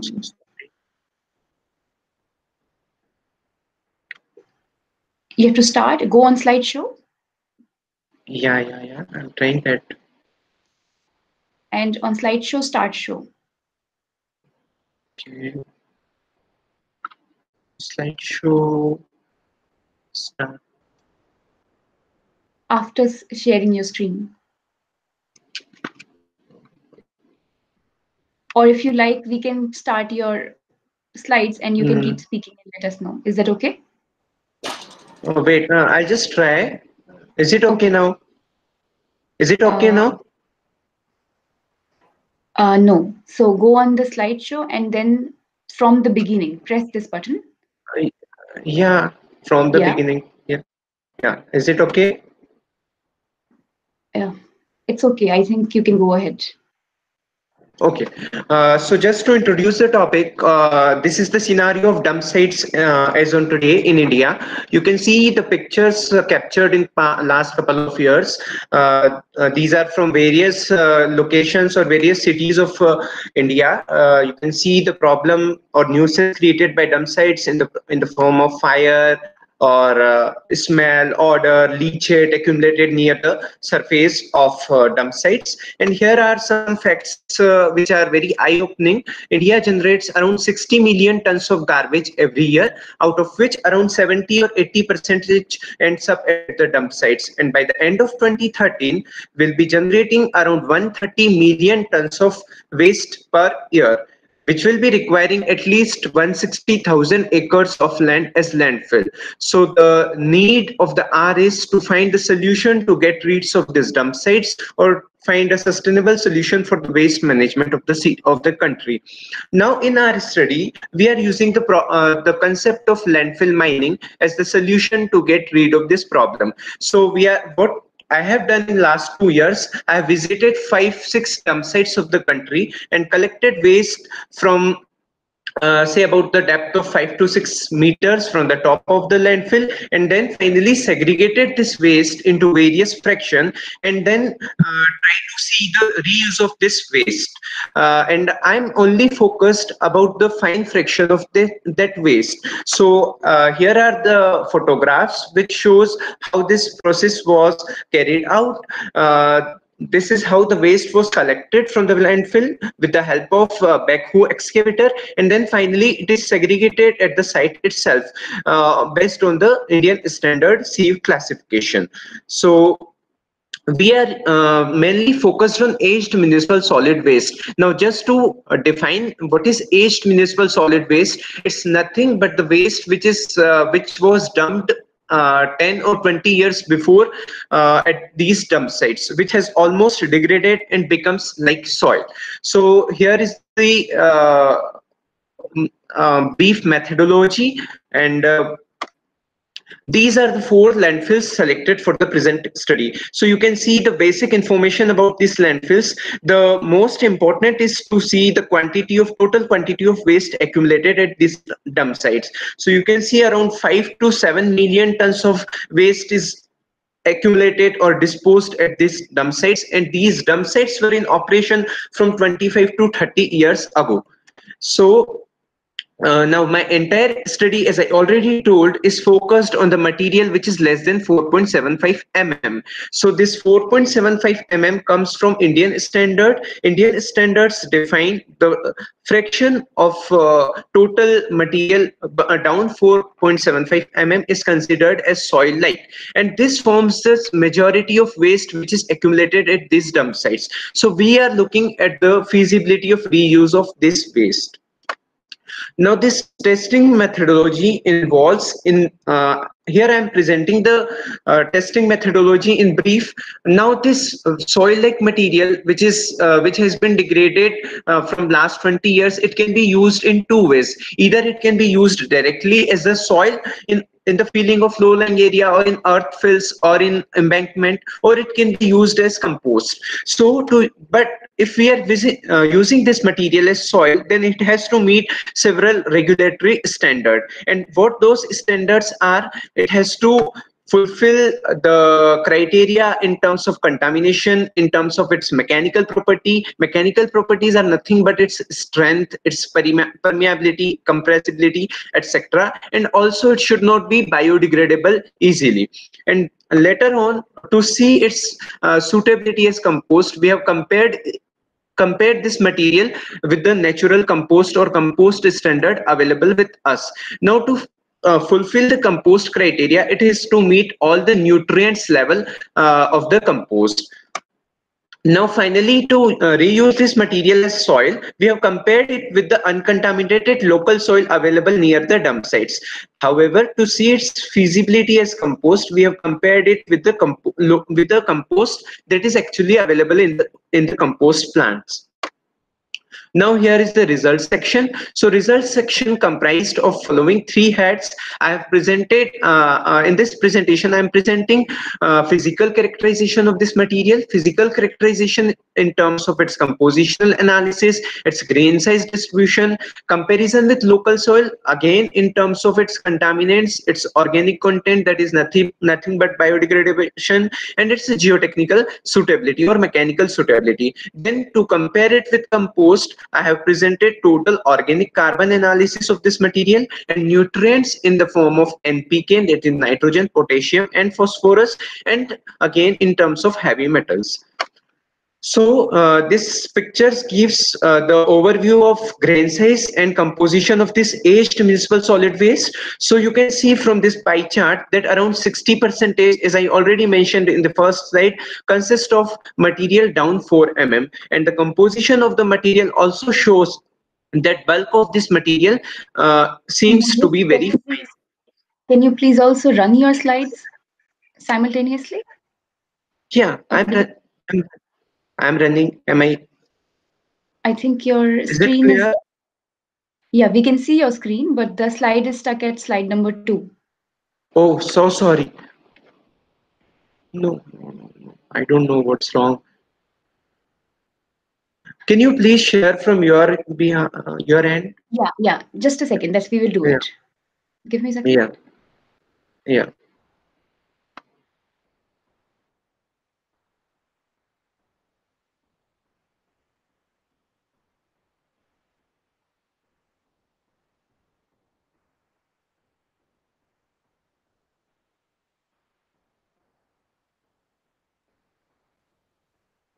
Yeah, so you can see Sweta's screen.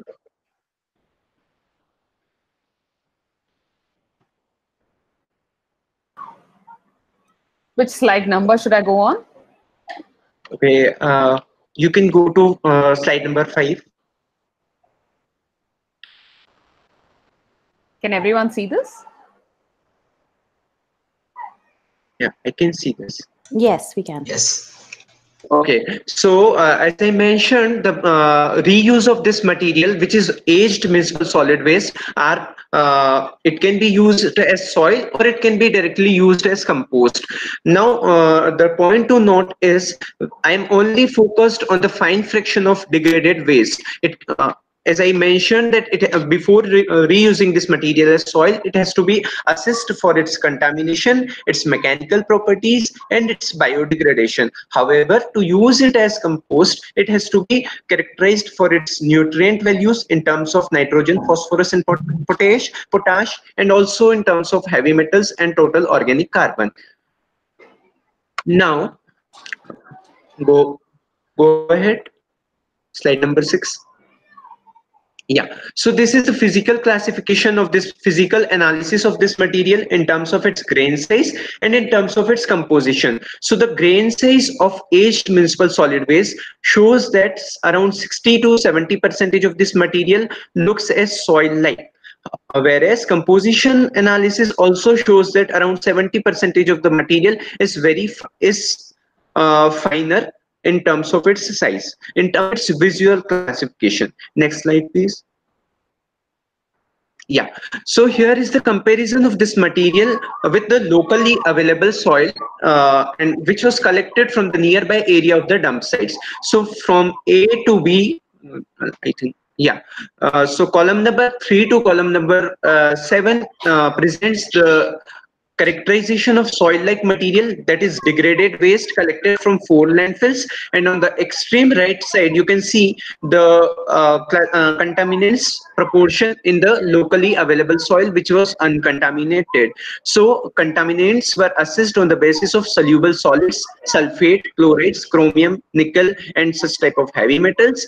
So you can see uh, like in the local soil uh, and in the soil like material from aged waste there is significant difference in terms of its contaminants. So uh, clearly it can be seen that high degree of contaminant with respect to local soil was uh, observed in the soil like material collected from waste aged waste. So this was one aspect. Second aspect was of biodegradation. Biodegradation was measured in terms of its organic content. And organic content you can see it varies between 4 to 16 percentage in soil-like material collected from aged waste, whereas in the local soil it was found to be one percentage, around one percentage.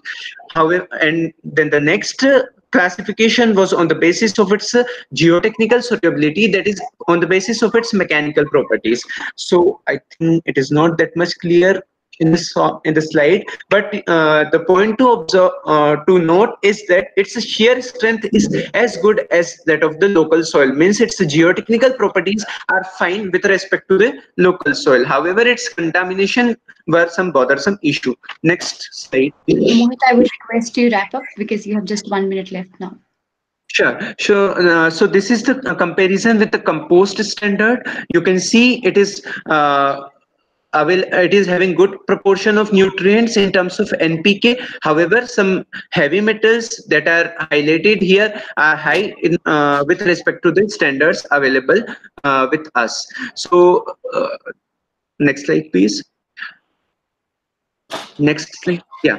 So finally, to conclude, uh, I can say on the basis of my research that it can't be used directly for offset applications without pre-treatment because to use this material as soil, high organic content, total dissolved solids, sulfate, chloride, and heavy metals needs to be addressed. Whereas to reuse this material as compost, total organic carbon was, which was very essential parameter of compost was found was found to be very less in soil like material from aged municipal solid waste. So it can't be used directly as a compost and it can neither be used as uh, soil. It has to be pre-treated to be reused.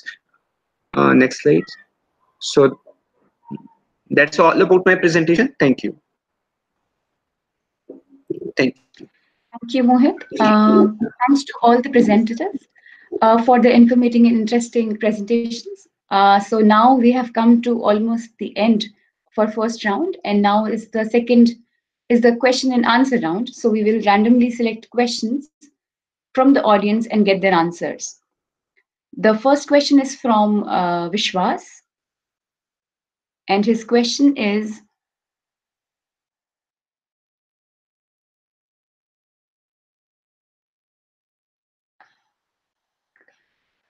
just a second Okay, let me take first question from Annie.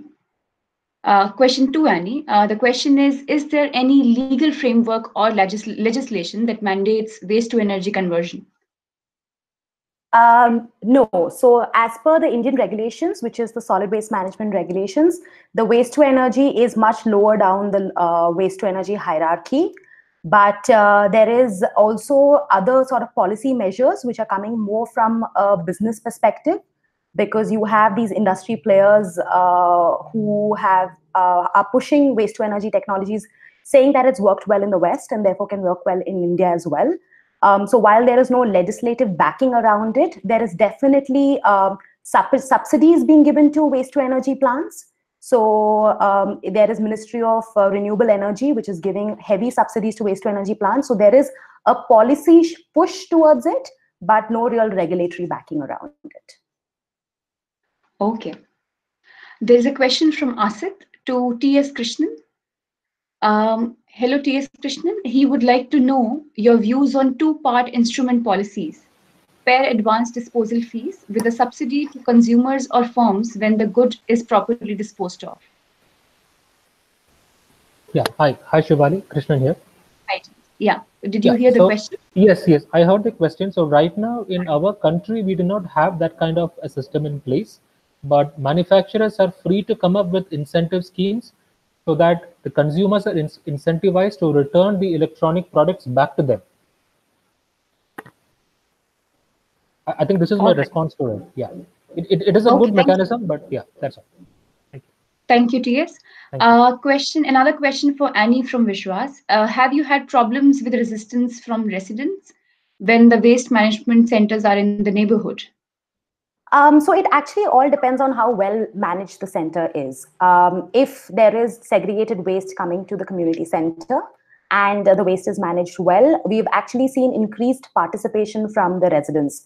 So what we also try to do is kind of involve the public. So we actually invite them to come and see what's happening in the waste management center. So that's how we take care of not in my backyard syndrome, which seems to be where people more are most happy to just have waste being taken away from their house but don't really know what happens. So the fact that they can come and see what is happening to the different kinds of waste increases their sensitivity towards waste as well. And uh, and for pe- people working with waste. So finally, they also see who works with their waste, and therefore that leads uh, to a situation where um, they are more sensitive towards it. There's better segregation levels, and therefore there's increased acceptance of these uh, community uh, waste management units as well. So yes, we've seen actually a more of a positive than a negative reaction towards community centers. Thank you, Annie. Uh, question for Mohit. Uh, what quantity of waste uh, from the dump site was analyzed for the study? This is a question from Vishwas. Okay. Am I audible now, Sh- uh, Shivadi? Yeah, you're audible. Please go ahead. Okay. Uh, so uh, initially, the waste collected from each landfill was uh, from five to six location, and uh, from every location, around two tons of waste was collected from the depth of five uh, five meters. So in totality, we were having around fi- uh, 25 to 30 tons of waste from all the uh, four landfills. And after Okay. uh, that, for the chemical analysis, it was uh, finally with the help of coning and quartering te- uh, technique, it was reduced to the uh, lesser volume needed for the testing. Thank you, Mohit. Uh, there's another question for you from Naveen. Uh, Okay. what was the heavy metals proposition which was found in SLM? Also, which all heavy metals were detected? Okay, so in terms of heavy metal, chromium, copper, lead, zinc, uh, cadmium, and mercury, arsenic were determined. And uh, with respect to uh, local soil, uh, uh, chromium was found high, cadmium was found high, copper was found high, zinc was in limit, and lead, uh, lead was also in limit, whereas arsenic was also found high. I also I already presented in my slide. Okay. Uh, can you show it in the slide? Uh, maybe Sure. a few Sure, sure. Uh, sure, sure, sure, sure. Mm.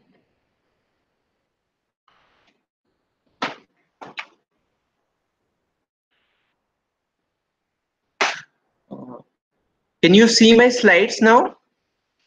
Yeah, we can see it. Yeah, maybe you can Okay. explain now. better. Yeah. Uh, Yeah, yeah, yeah, yeah. And Here, then, of course- uh, in, oh yeah. Mm. Is it visible? Hello, is it visible? This is fine. You, but you are on, yeah, this is okay. Okay. You just have to go uh, on the screen, but it's okay. This is also fine. This is also fine right? Uh, so here is the comparison with the local soil. Uh, you see chromium nickel copper zinc arsenic cadmium and lead. These were the heavy metals which were determined. Now uh, see the nickel was almost uh, around uh, similar in heavy in local soil and soil like material from landfills whereas you can see zinc was high you can see arsenic was in uh, more or less same whereas cadmium was high lead was high zinc was high and copper was high chromium was also slightly elevated is it okay do you need further explanation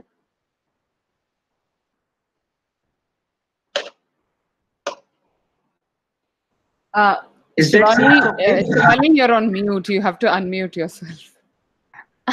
Ah, thank you. Yeah, it's fine, Mohit. Um, I Okay. think if anybody has any more questions, they can write to us or the present or the moderators and presenters. Um, so we will have the email IDs of all the presenters with us. Please feel free to write to us uh, after the session. Now I think we would like to move to the second round of presentations after this. Uh, and we would like to now start with uh, our next presenter, Mubarak Mujawar from Malaysia.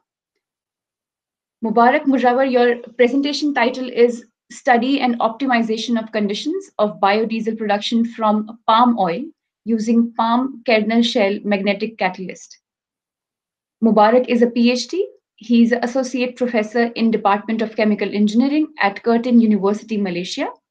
He has published scientific, significantly with over 100 peer-reviewed journal articles, six book chapters, 20 conference publications, and several international awards for his work he has received before. Mubarak, uh, the floor is yours. Please share your screen now.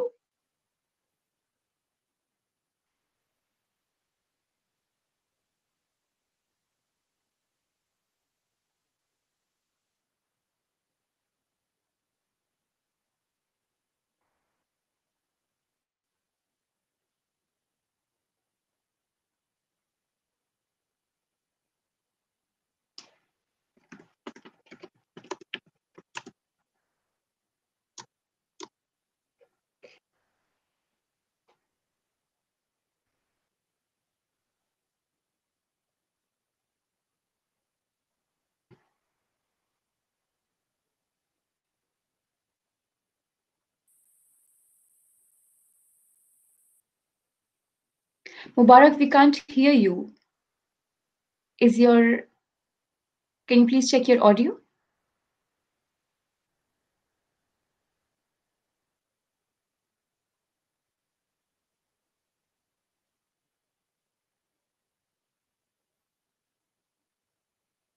Check your mic, please.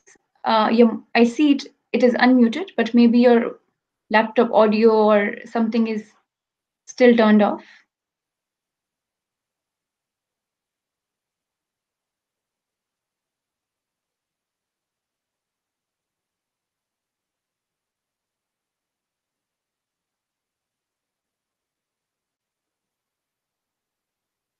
Please check your mic again. I can't, still can't hear you.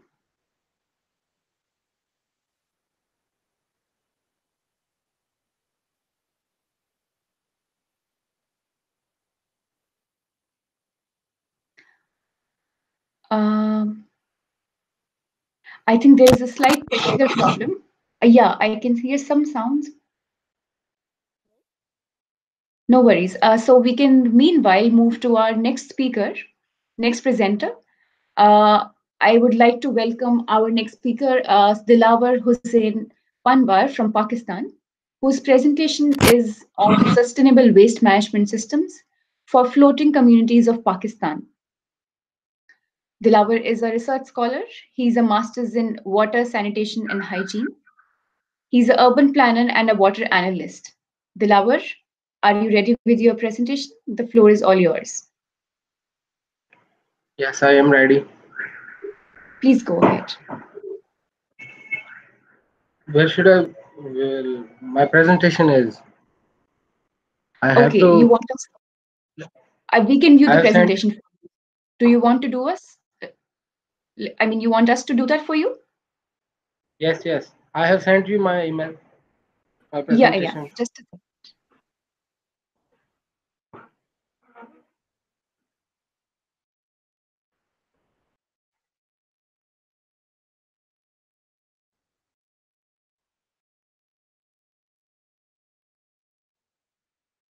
Sweta, can you please? Yeah.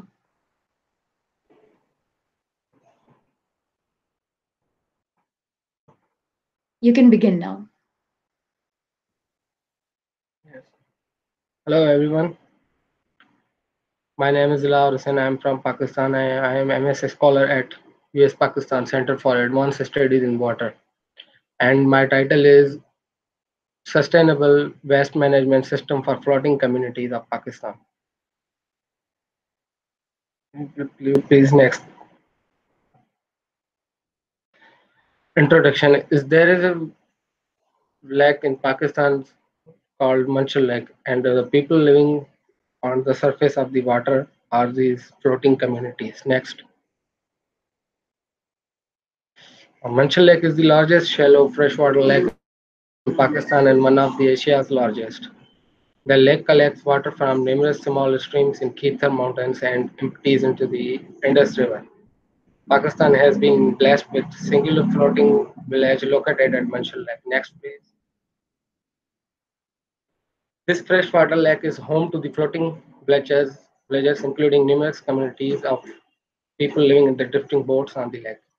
Tragically, the life on the surface of the water does not have the essential elements concerning access to the safe drinking water and sanitation system. Next, please. The dwelling communities on the lake are utili- utilizing this water for multiple purposes. For example, agriculture, business, fishing, and drinking, other household purposes, and to stay day and night. There are varieties of unfavorable factors that are imposing influences on the health of floating inhabitants, including waterborne diseases, non-appearance of a specific clause by and national wash legal framework. Next, please. This freshwater lake is home to the villagers. Next, please.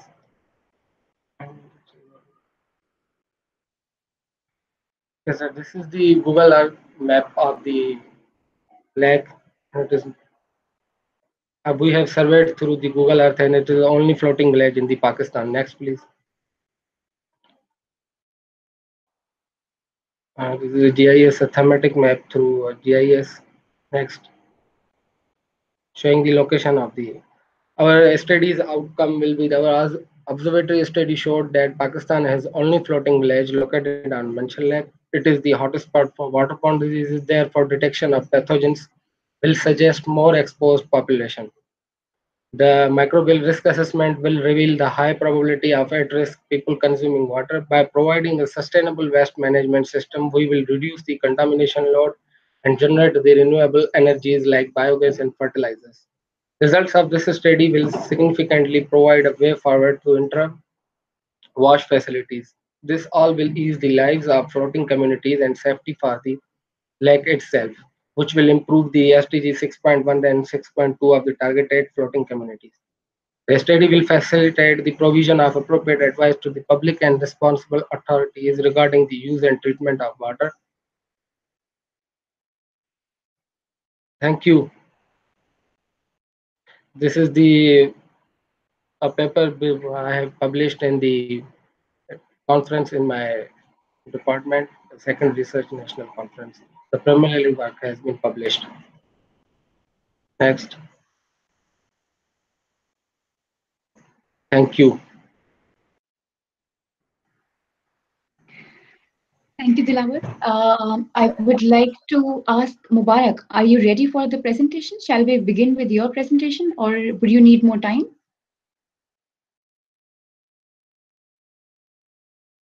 Mubarak, can you hear me? Because I cannot hear you.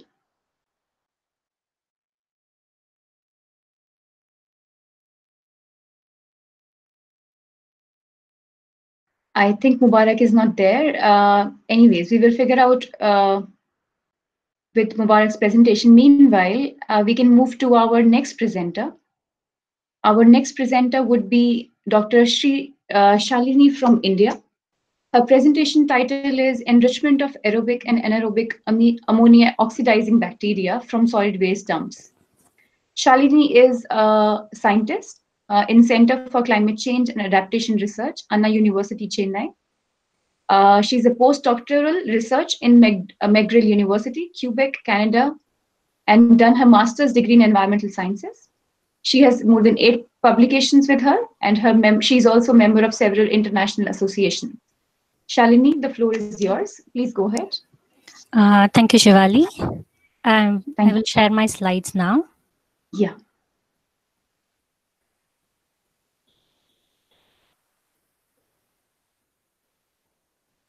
Hope uh, they can see the slides now. Uh, not yet.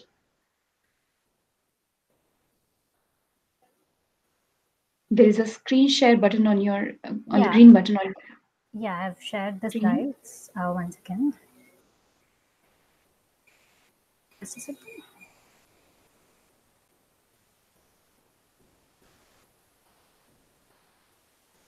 Is it visible now? Yeah, this is fine. Okay. Shalini, you can go ahead. Uh, thank you, Shivali. Now I'm going to talk about uh, enrichment of aerobic and anaerobic ammonium oxidizing bacteria from solid waste dumps. Before moving on to the presentation, I'll say what is aerobic and anaerobic ammonium oxidizing bacteria and why it is so important to enrich these two bacteria in the solid waste. So when we see the country like India, we have a population of 1.45 billion, which is generating about 0.7 kilogram per capita per uh, per, per day of municipal solid waste. So we can expect by 2025, it is estimated that 3,76,369 tons of MSW is going to be generated. And if you see the developing countries, most of the disposal methods for this MSW is the open dump sites. And the open dump sites is playing a major role in today's uh, scenario like climate change. So it is estimated that from India alone, from the waste sector, we are contributing 4% of the greenhouse gas emissions. So it is very important to treat our waste. So when we talk about the dump sites, two types of waste is getting accumulated in the dump site. One is the fresh MSW, another is the mined municipal solid waste. So I'm going to talk about the mined MSW, where which is a partially degraded MSW.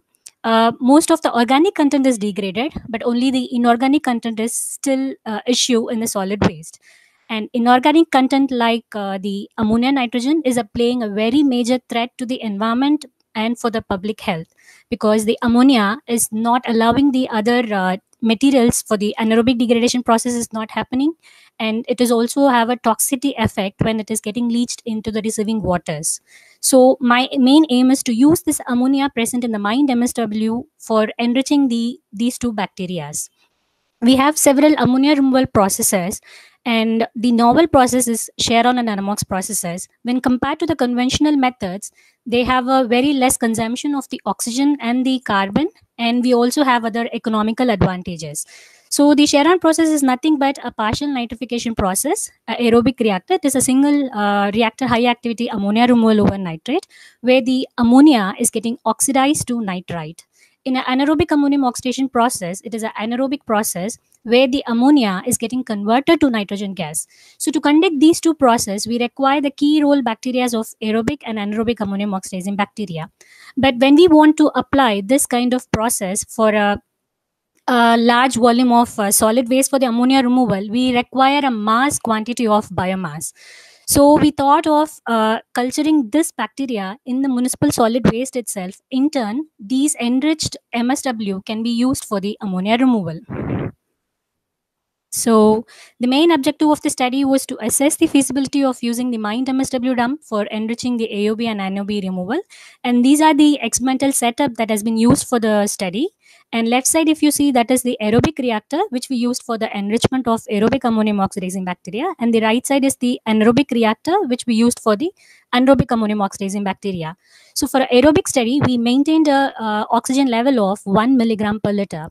For the anaerobic condition maintained, we had uh, uh, injected the nitrogen gas inside the reactor so that the oxygen can be completely removed in the anaerobic reactors. So these reactors have run for a period of 250 days to see the how the enrichment is uh, prolonging for such a long days and what are the uh, different environmental conditions can affect these bacteria. So this is the slide showing the different operational conditions involved in the experiment so we have an aerobic reactor and an anaerobic reactor. And we analyze these reactors for weekly to see the nitrogen uh, variations. And the initial loading for the aerobic reactor is in a ratio of 80 by 20 is the feed to seed ratio. The feed here is the enrichment medium. So in case of a aob the aob enrichment medium is used for the uh, uh, enrichment of the aerobic ammonium oxidizing bacteria. So 80 by 20, 80% of the feed and 20% of the mined MSW. In an anaerobic reactor, it the feed to seed ratio is 60 by 40, where 60% is the anaerobic enrichment medium and 40% is the mined municipal solid waste. So the other analysis we carried out are the enrichment of uh, AOB can be analyzed by MPN tests. And we also looked the bacterial morphology of the bacteria using SEM. And the standard procedures have been adopted for all the uh, chemical analysis like ammonia, nitrite, nitrate, and COD.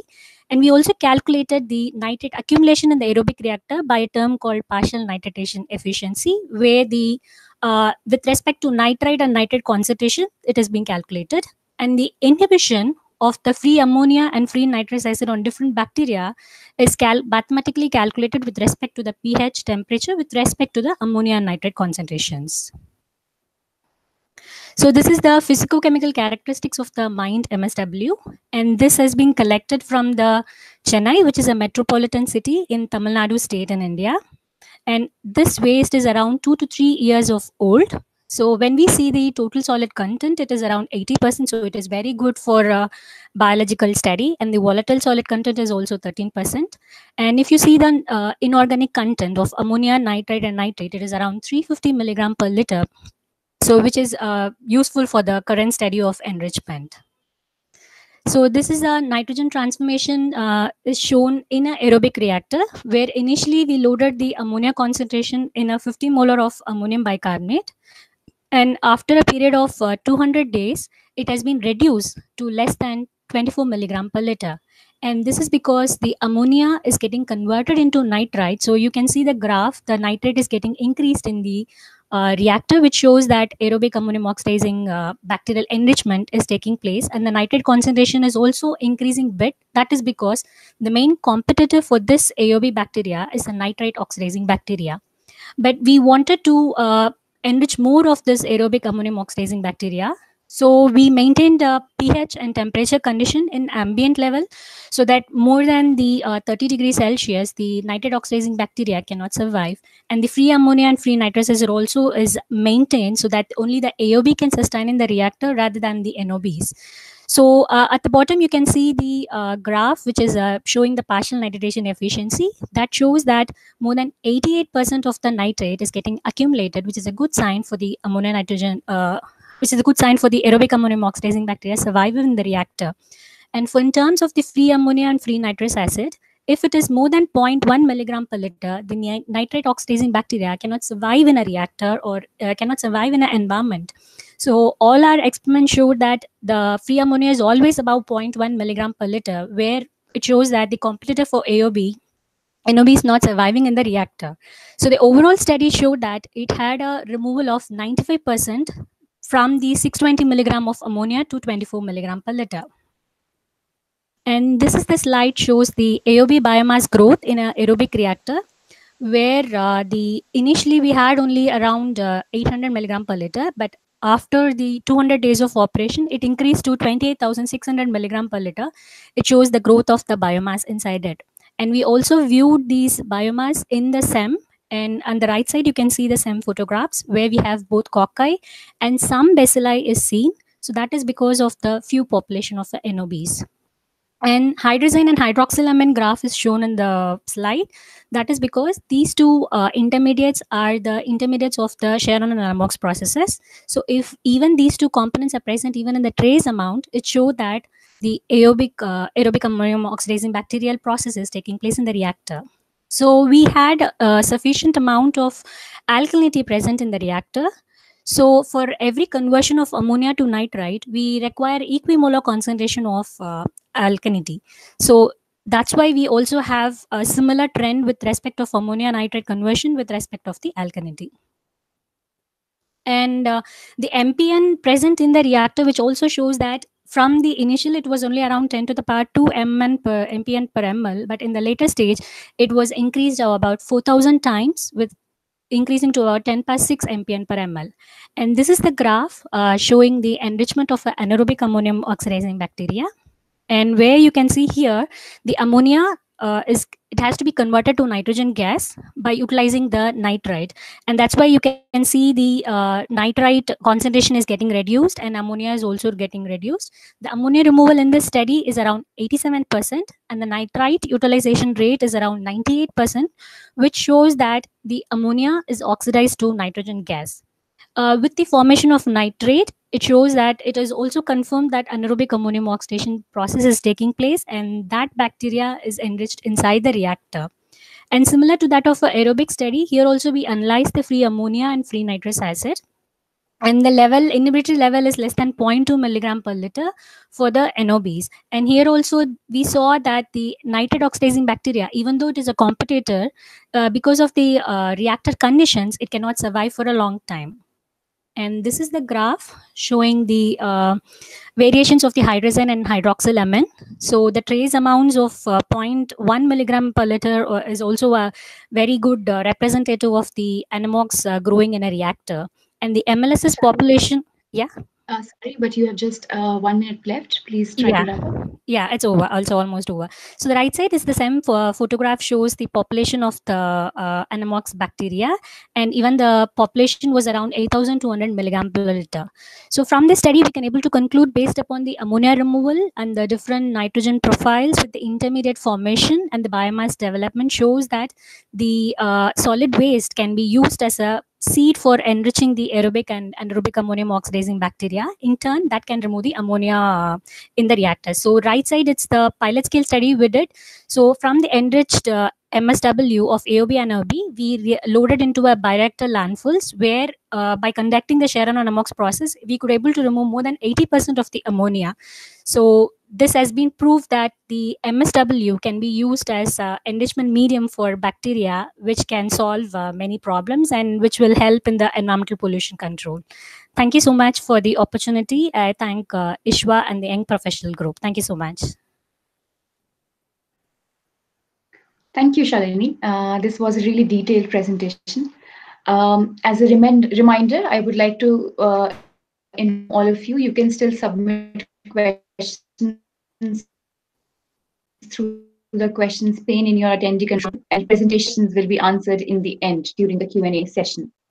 So moving on to our next presenter, I would now like to welcome and our new presenter, Anaya Ghosh from India, whose presentation title is Energy Recovery from Municipal Solid Waste Dump Sites Using Bioreactor Landfills for Sustainable City Development. Anaya is right now pursuing her PhD in chemical engineering. She's her PhD project is on bioreactor landfill modeling and organic fraction of municipal solid waste. She's also a member of several professional bodies. Anaya, uh, are you there? I Is it audible? Hello. Yeah, you're audible, but your voice is a bit low. Can you uh, hear me? This is audible. Yeah, you are audible. Uh, can you use your earphones or? Okay, one second.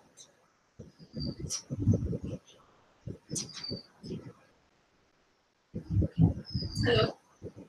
Yeah. audible? Yeah, it is audible. Please share your screen. Yes.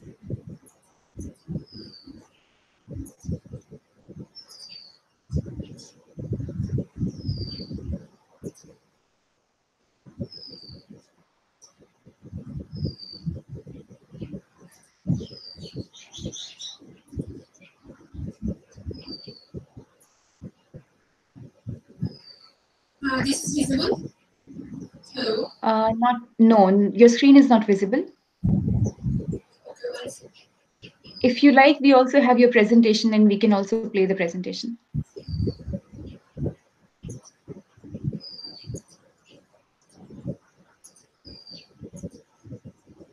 Can you see me the, uh, see my Yeah, yeah, I can see your screen. Please go on the slideshow mode. This is visible now. Hello. Your your screen is not visible. This one. Uh, I can see you, but I cannot see your screen. Uh, so maybe you have to do a screen share again. One second. One second.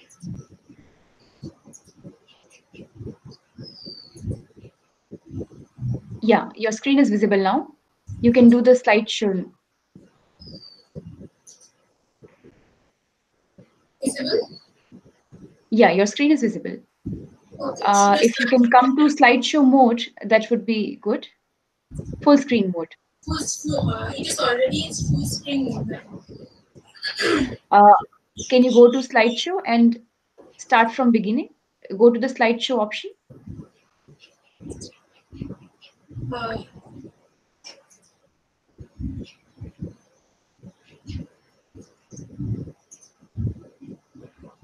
you can see now my slides. Yeah, I can. I can see your slides, but I cannot see the full screen. If you can go to Uh, slideshow and Already I uh, did this one, the full screen one. can you click on the slideshow option on the top? There is a yeah, the slideshow option on the top. You see, yeah, on the yeah. This Press this. Yeah, Right one? Hello. I think yeah, you can go ahead. Okay. Uh, uh, should I start? Hello. Yeah, I I actually cannot see your slideshow, but it's okay. Ju- Just go ahead. It's okay. Okay. Slides are visible now. Yeah, your slides are visible. Okay. Uh, hello everyone. Uh, myself is a scholar Department of Chemical Engineering in IIT National Institute of Technology, Durgapur, India. Uh, today I will uh, give a uh, presentation on the topic of uh, energy recovery from municipal solid waste uh, dump sites using bioreactor entry for sustainable city development. These are my outlines. Before going to the main topic, I will give, a brief discussion on bioreactor entry. It's a uh, design sanitary landfill where proper gas collection system uh, is in, inbuilt and also the proper Anaya, yes uh, your slides are not moving. Maybe if you go on the slideshow again and try to do it, we can see your slides again. but from here I am changing my slide uh, I don't know Okay. Uh, can you click on the slideshow again once more, please? This is the my first uh, slide introduction the second one Yeah, yeah. this one third one now it is It's changing okay. I think. Yeah, it is. It is changing. Yeah, please go ahead. okay You can come to the slide where you want to begin now.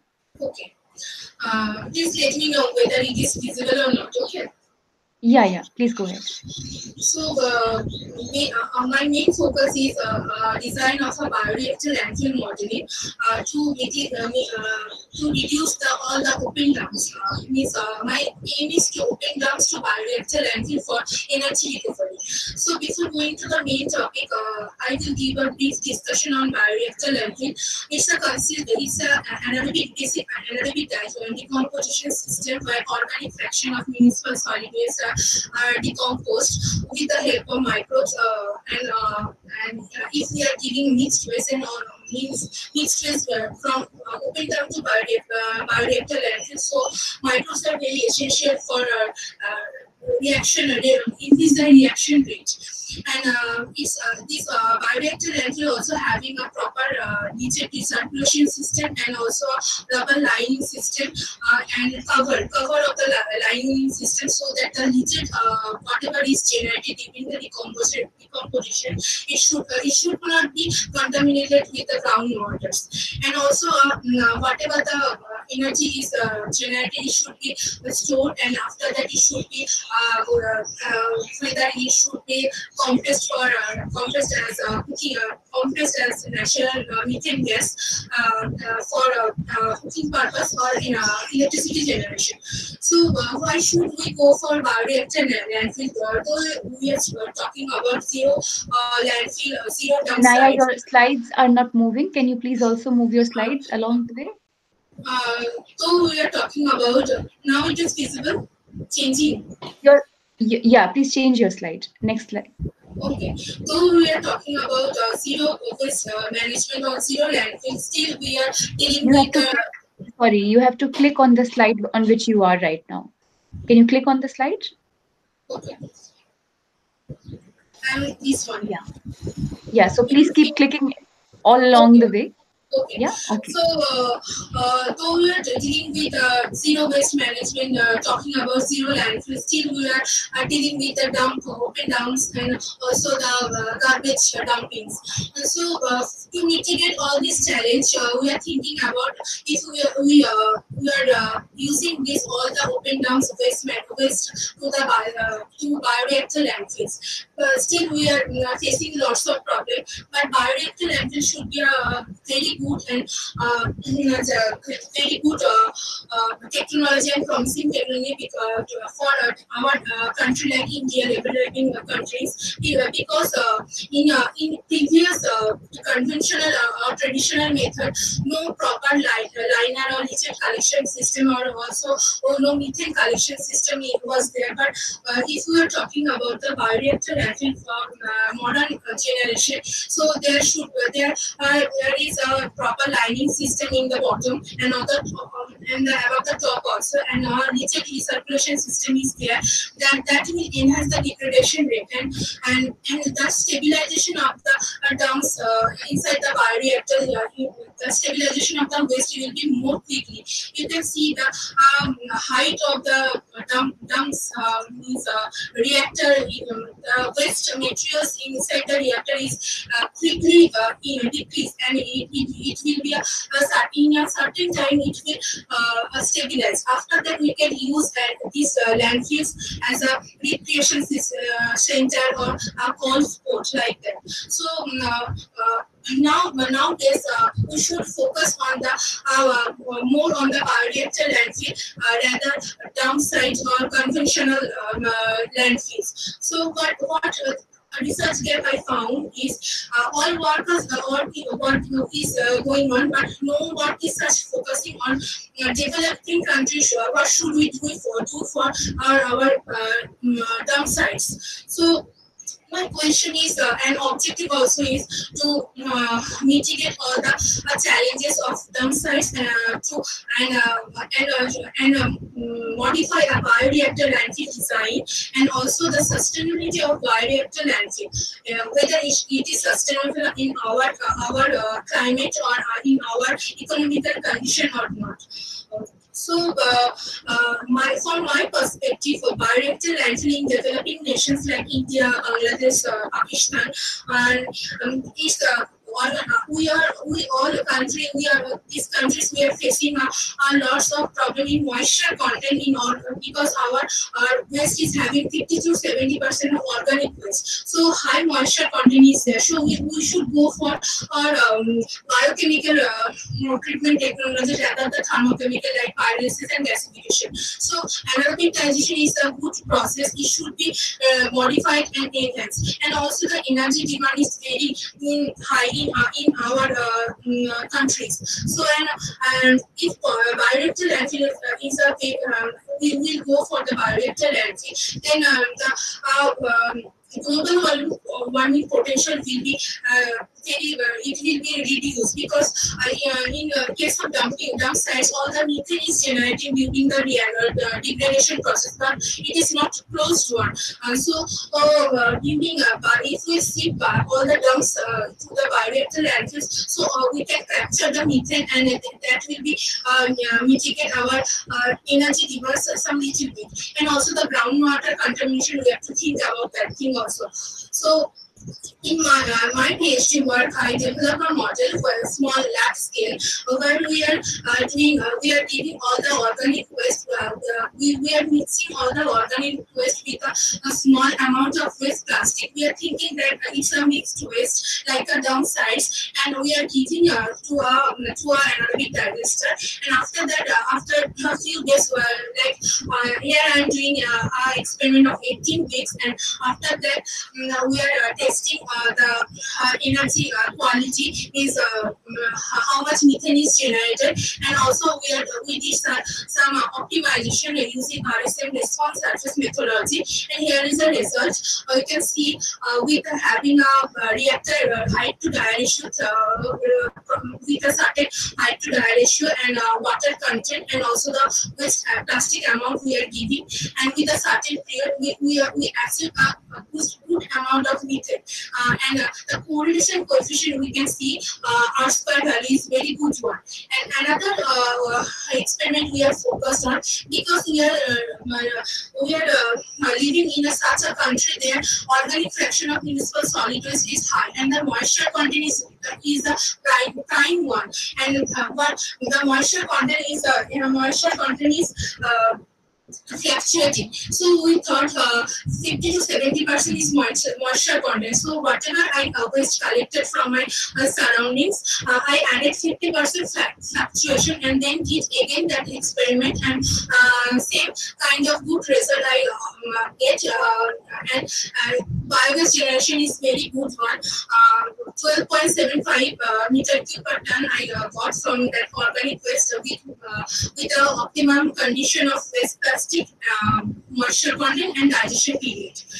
And um, after all this, I I uh, proposed a framework uh, which is uh, very which is very good for in in our country is um, climate because uh, here most of the cases segregation is a uh, main issue we faced here. So if uh, this is a model uh, where if the municipal solid waste is segregated, then all the segregated waste is, uh, I, am showing it first uh, in the left one, segregated waste is the collected, then all that will go the expected units um, and if the waste is the mixed waste, then it should be go for the material recovery facility and after that it should be segregated.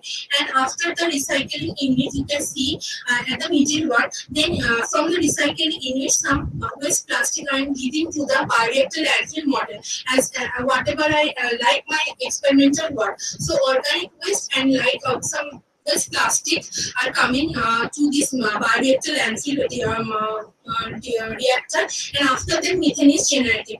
From methane, uh, whatever our energy given, uh, we are using electricity or upgradation unit for sale. And another mm, slide I will show you. Wrap okay. the website. Uh, some case studies I did uh, because to verify my experimental model whether it should be valid for uh, our environment, our climate or not. So Bombay IIT they are doing some um, um, um, uh, bioreactor landfill model um, to convert the open dumps to bioreactor landfill. Uh, they're uh, they're uh, in consumer they are they're having a landfill site, uh, huge landfill um, dump site capacity is 7500 tons per day, and they are having six uh, units of bioreactor landfill and also all the um, means of uh, their uh, that bioreactor landfill capacity is 3000 tons of mixed waste and good amount of waste is collected and they are selling it also um, under the help of uh, BMC uh, Bombay Municipal Corporation. 3.5 uh, um, per unit rupees 3.5 per unit they are selling. Instead of market um, means the market value is 7 per, 7 uh, rupees per, um, per unit so it is very sustainable for us uh, and also the economical so um, uh, from the perspective of sustainability uh, economical uh, point of view, uh, if I if we compare from previous open dump or conventional method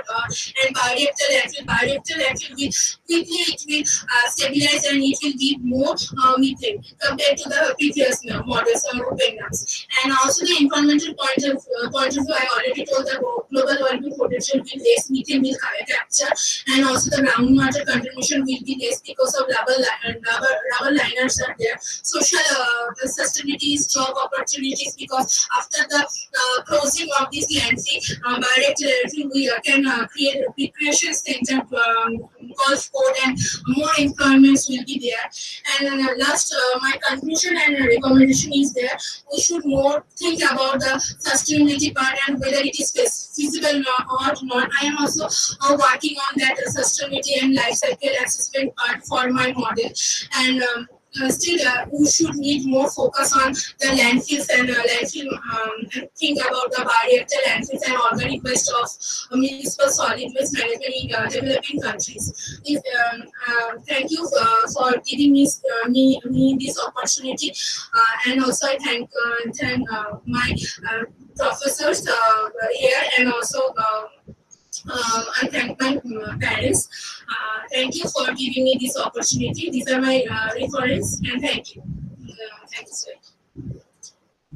Uh, complete. Thank you. Thank you, Anaya. Uh, I, I, will now move to our last presentation of the day to Mr. Mubarak Mujawar from Malaysia. Uh, Mubarak's presentation's title is Study and Optimization of Conditions of Biodiesel Production from Palm Oil using palm kernel shell magnetic catalyst. Uh, Mubarak is a PhD and he is also associate professor in Department of Chemical Engineering at Curtin University, Malaysia. He has published significantly with over 100 peer-reviewed journal articles, six book chapters, 20 conference proceedings, and such technical papers. Several international awards have also been offered to Mubarak. Uh, Mubarak, are you there? The floor is all yours now. Uh, Mubarak, I cannot hear you. Anaya, can you please mute yourself?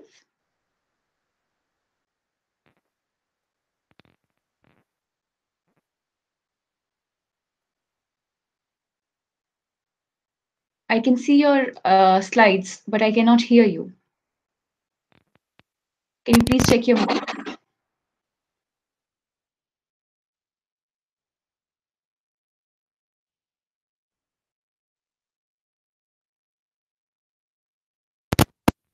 I cannot hear you.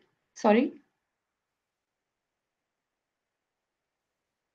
Uh, can you remove if you have earphones right now and just come to normal speaker? Maybe the earphones are not connecting.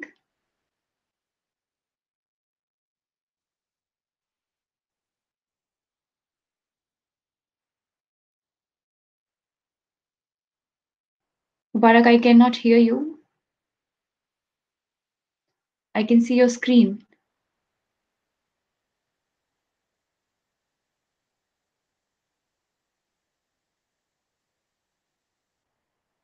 Okay, I don't think we can we can figure this out right now. So let's close the fifth our presentations now, and I would now like to come to question and answer round. Mubarak, we cannot uh, maybe we can integrate you later on your presentation in the rest of the slides.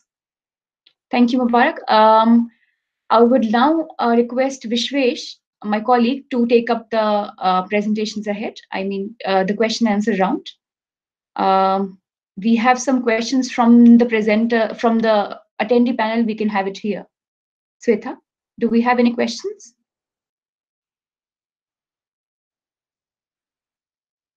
Okay. So my question is to actually Shalini. Shalini, uh, you said there are economical advantages to the Anammox process. Can you please uh, mention a bit more on what kind of economical advantages does this process have over the other one? Uh, yeah, thank you for the question. In terms of the uh, the uh, consumption of the chemical components involved in a, uh, biological processes, the anaerobic ammonium oxidation process has uh, very less, and even the gas emissions from these uh, processes, in terms of uh, the methane and other gases, is also uh, is not coming out from these processes. So we also conducted a preliminary study and a pilot scale study. So I could see a, a vast difference in the in terms of climate change aspects. The greenhouse gas emissions is very less because whatever ammonia is present in the reactor initially is completely getting converted uh, to the uh, nitrogen gas, which is uh, we all know the nitrogen gas is present in the environment, and the cost with connected with this uh, process is also very less because we used only a polyvinyl PVC pipe for this uh, kind of studies. So with all these advantages, I say this it is economically advantage. Okay, thank you, Shalini. Uh, the next question is for Anaya. Anaya, you mentioned about the biogas generation from the bioreactor landfill. And I suppose the biogas generation that you mentioned was really good. Are there some reasons that you were receiving such uh, such high amounts of biogas in the landfill? Uh, because uh, if we uh, uh, give some microbes like cow dung and uh, if you commercially purchase some microbes, then it will then automatically it will uh, increase the rate of the degradation. So uh, if uh, that uh, dung sites or that waste is containing organic fraction uh, higher one, automatically methane will generate more. It depends upon the organic fraction of municipal solid, how much amount it will contain. Okay. Thank you, Naya. Uh, again, thanks to all the participants for all the questions. I think this is it. We don't have any more questions now. Uh, I would now like to invite Vishwesh, uh, and he will take ahead rest of the session. I think now you just have to close, Vishwesh. Uh, uh, can you please unmute yourself? I cannot hear you. Am I audible? Yeah, yeah, you're audible. Please take Uh, ahead. Sure. Thank, thanks, Shivali. Uh, hi, everyone. Uh, this is Vishwesh from Bangalore, uh, India. I work with the United Nations uh, Development Program on a plastic waste uh, management project. Uh, it's called Prithvi, and we have been associ- I've been associated with uh, ISWA and the YPG since over three years now. It's a really great network to be a part of in the solid waste management domain. That's in case you still aren't a part of it. And um, uh, I'd like to, you know, take this opportunity to thank all the participants for uh, uh, such incredibly engaging presentations. A big thank you to all our audience from uh, around the world who have joined our conference. And uh, this is a reminder that the best three presenters will be announced in mid-September, and they will be contacted by email. For the first place, the award uh, will be a 300 euro travel grant for the uh, ISWA World Congress happening at Bilbao, Spain this year. And uh, the second place will be an ISWA membership for two years. Wow, that's really great. And third place is an ISWA membership for one year, right? Uh, and all presenters will get their certificates of participation sent to their email. Uh, their abstracts will be published in the conference book, which will also be available on our website. So, Right. Um,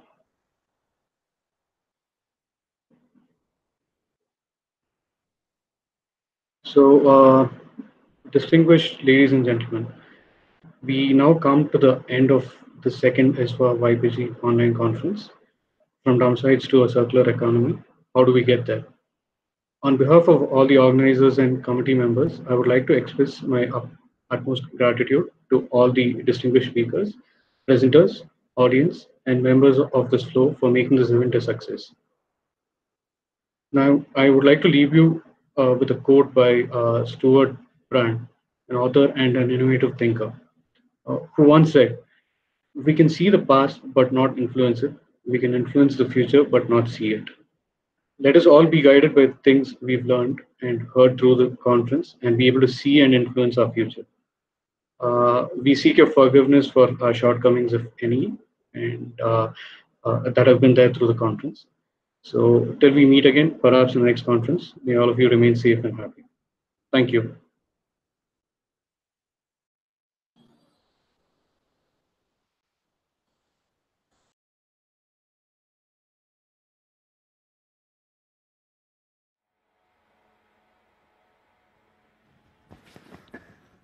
Good morning. Today I'm going to present a study in optimization conditions of biodiesel production from palm, palm oil using palm kernel magnetic catalyst.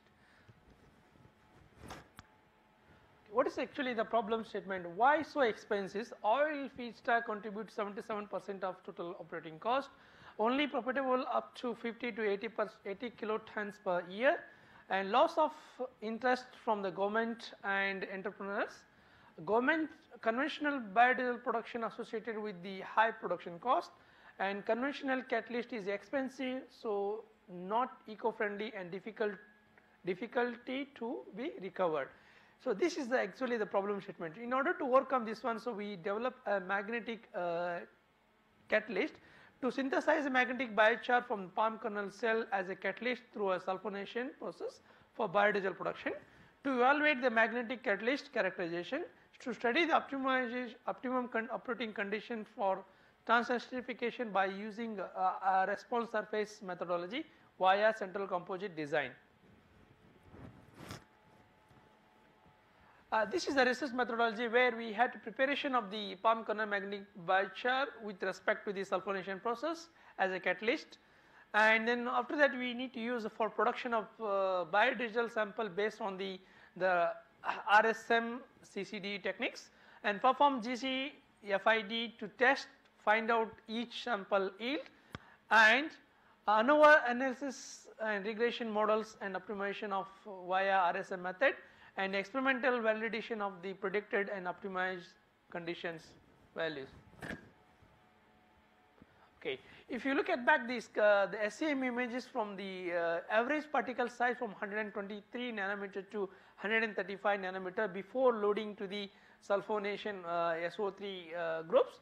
And after sulfonation more compact and you can see the from the figure B and, and D. Uh, you can see more compact and coarser and show the greatly porosity improve the mass transfer improve the catalyst efficiency. Not much difference uh, especially in terms of stability and inflexibility carbon framework at 800 degree carbonation.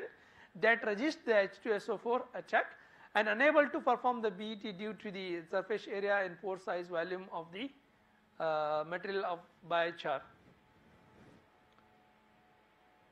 And if you look at back the we have done some characterization study on energy dispersion energy dispersion studies where you can also can see that after the sulfuration the presence of uh, presence of sulfur is present on the, uh, the EDX images and you can see drop of Fe content after sulfuration for example 64 percent to the 19 percent uh, it indicates that the iron content is reducing and sulf, uh, sulfuration process is uh, valid and lack of protect uh, and we, we have done some called as a proactive coating leaching of Fe3O4 and Fe3C into the sulfuric acid solutions. And we can look at the figure from the A and B, it is very clear that the, the sulfone, uh, presence of sulfur, uh, sulfur is present in the energy diffraction studies. And also we have studied the vibrating sample magnetometer. Before sulfonation, we can see the, the, the trend is from the A 37.65 EMU by gram and after sulfonation you can see that it is getting to the ready uses. The significant 78 percent drop of the the vibrating uh, the magnetic uh, material can be dropped and lack of protective coating and that can be help us to use the uh, by mentioning just now uh, uh, sulfuric acid solution by using the leaching techniques. And we also perform the Fourier transform infrared spectrometer and you can see that wavelength is about 554 the FeO is present and wavelength at 105450 you can see the uh, oxygen sulfur and the groups are present. And wavelength at 133 1430 you can see. And 1465 symmetric and asymmetric of sulfur and oxygen stretches are fine. And successful loading of SO3 groups on the, the FTIR images. And acid density we found it is about 1.92 mm mole per gram. And you can see from the graph A and B it's clearly indicate that the after sulfonation definitely the, the, the functional groups are attached on the surface of the magnetic biochar. And also we also perform the thermogrammetric analysis. You can see from the part A and B, A is a before sulfonation and B is after sulfonation. And you can see from the each and every uh, temperature range we have find out that what is the, the between the temperature range is minor weight loss about 200 degree temperatures. After 200 to 800 degree the total weight loss is about 16.81 this is due to the lignose uh, decomposition of lignose and linoleic content. And after after sulfonation you can imagine it at 150 degree temperatures. And you can see the minor weight loss is about 8.81 so between 150 to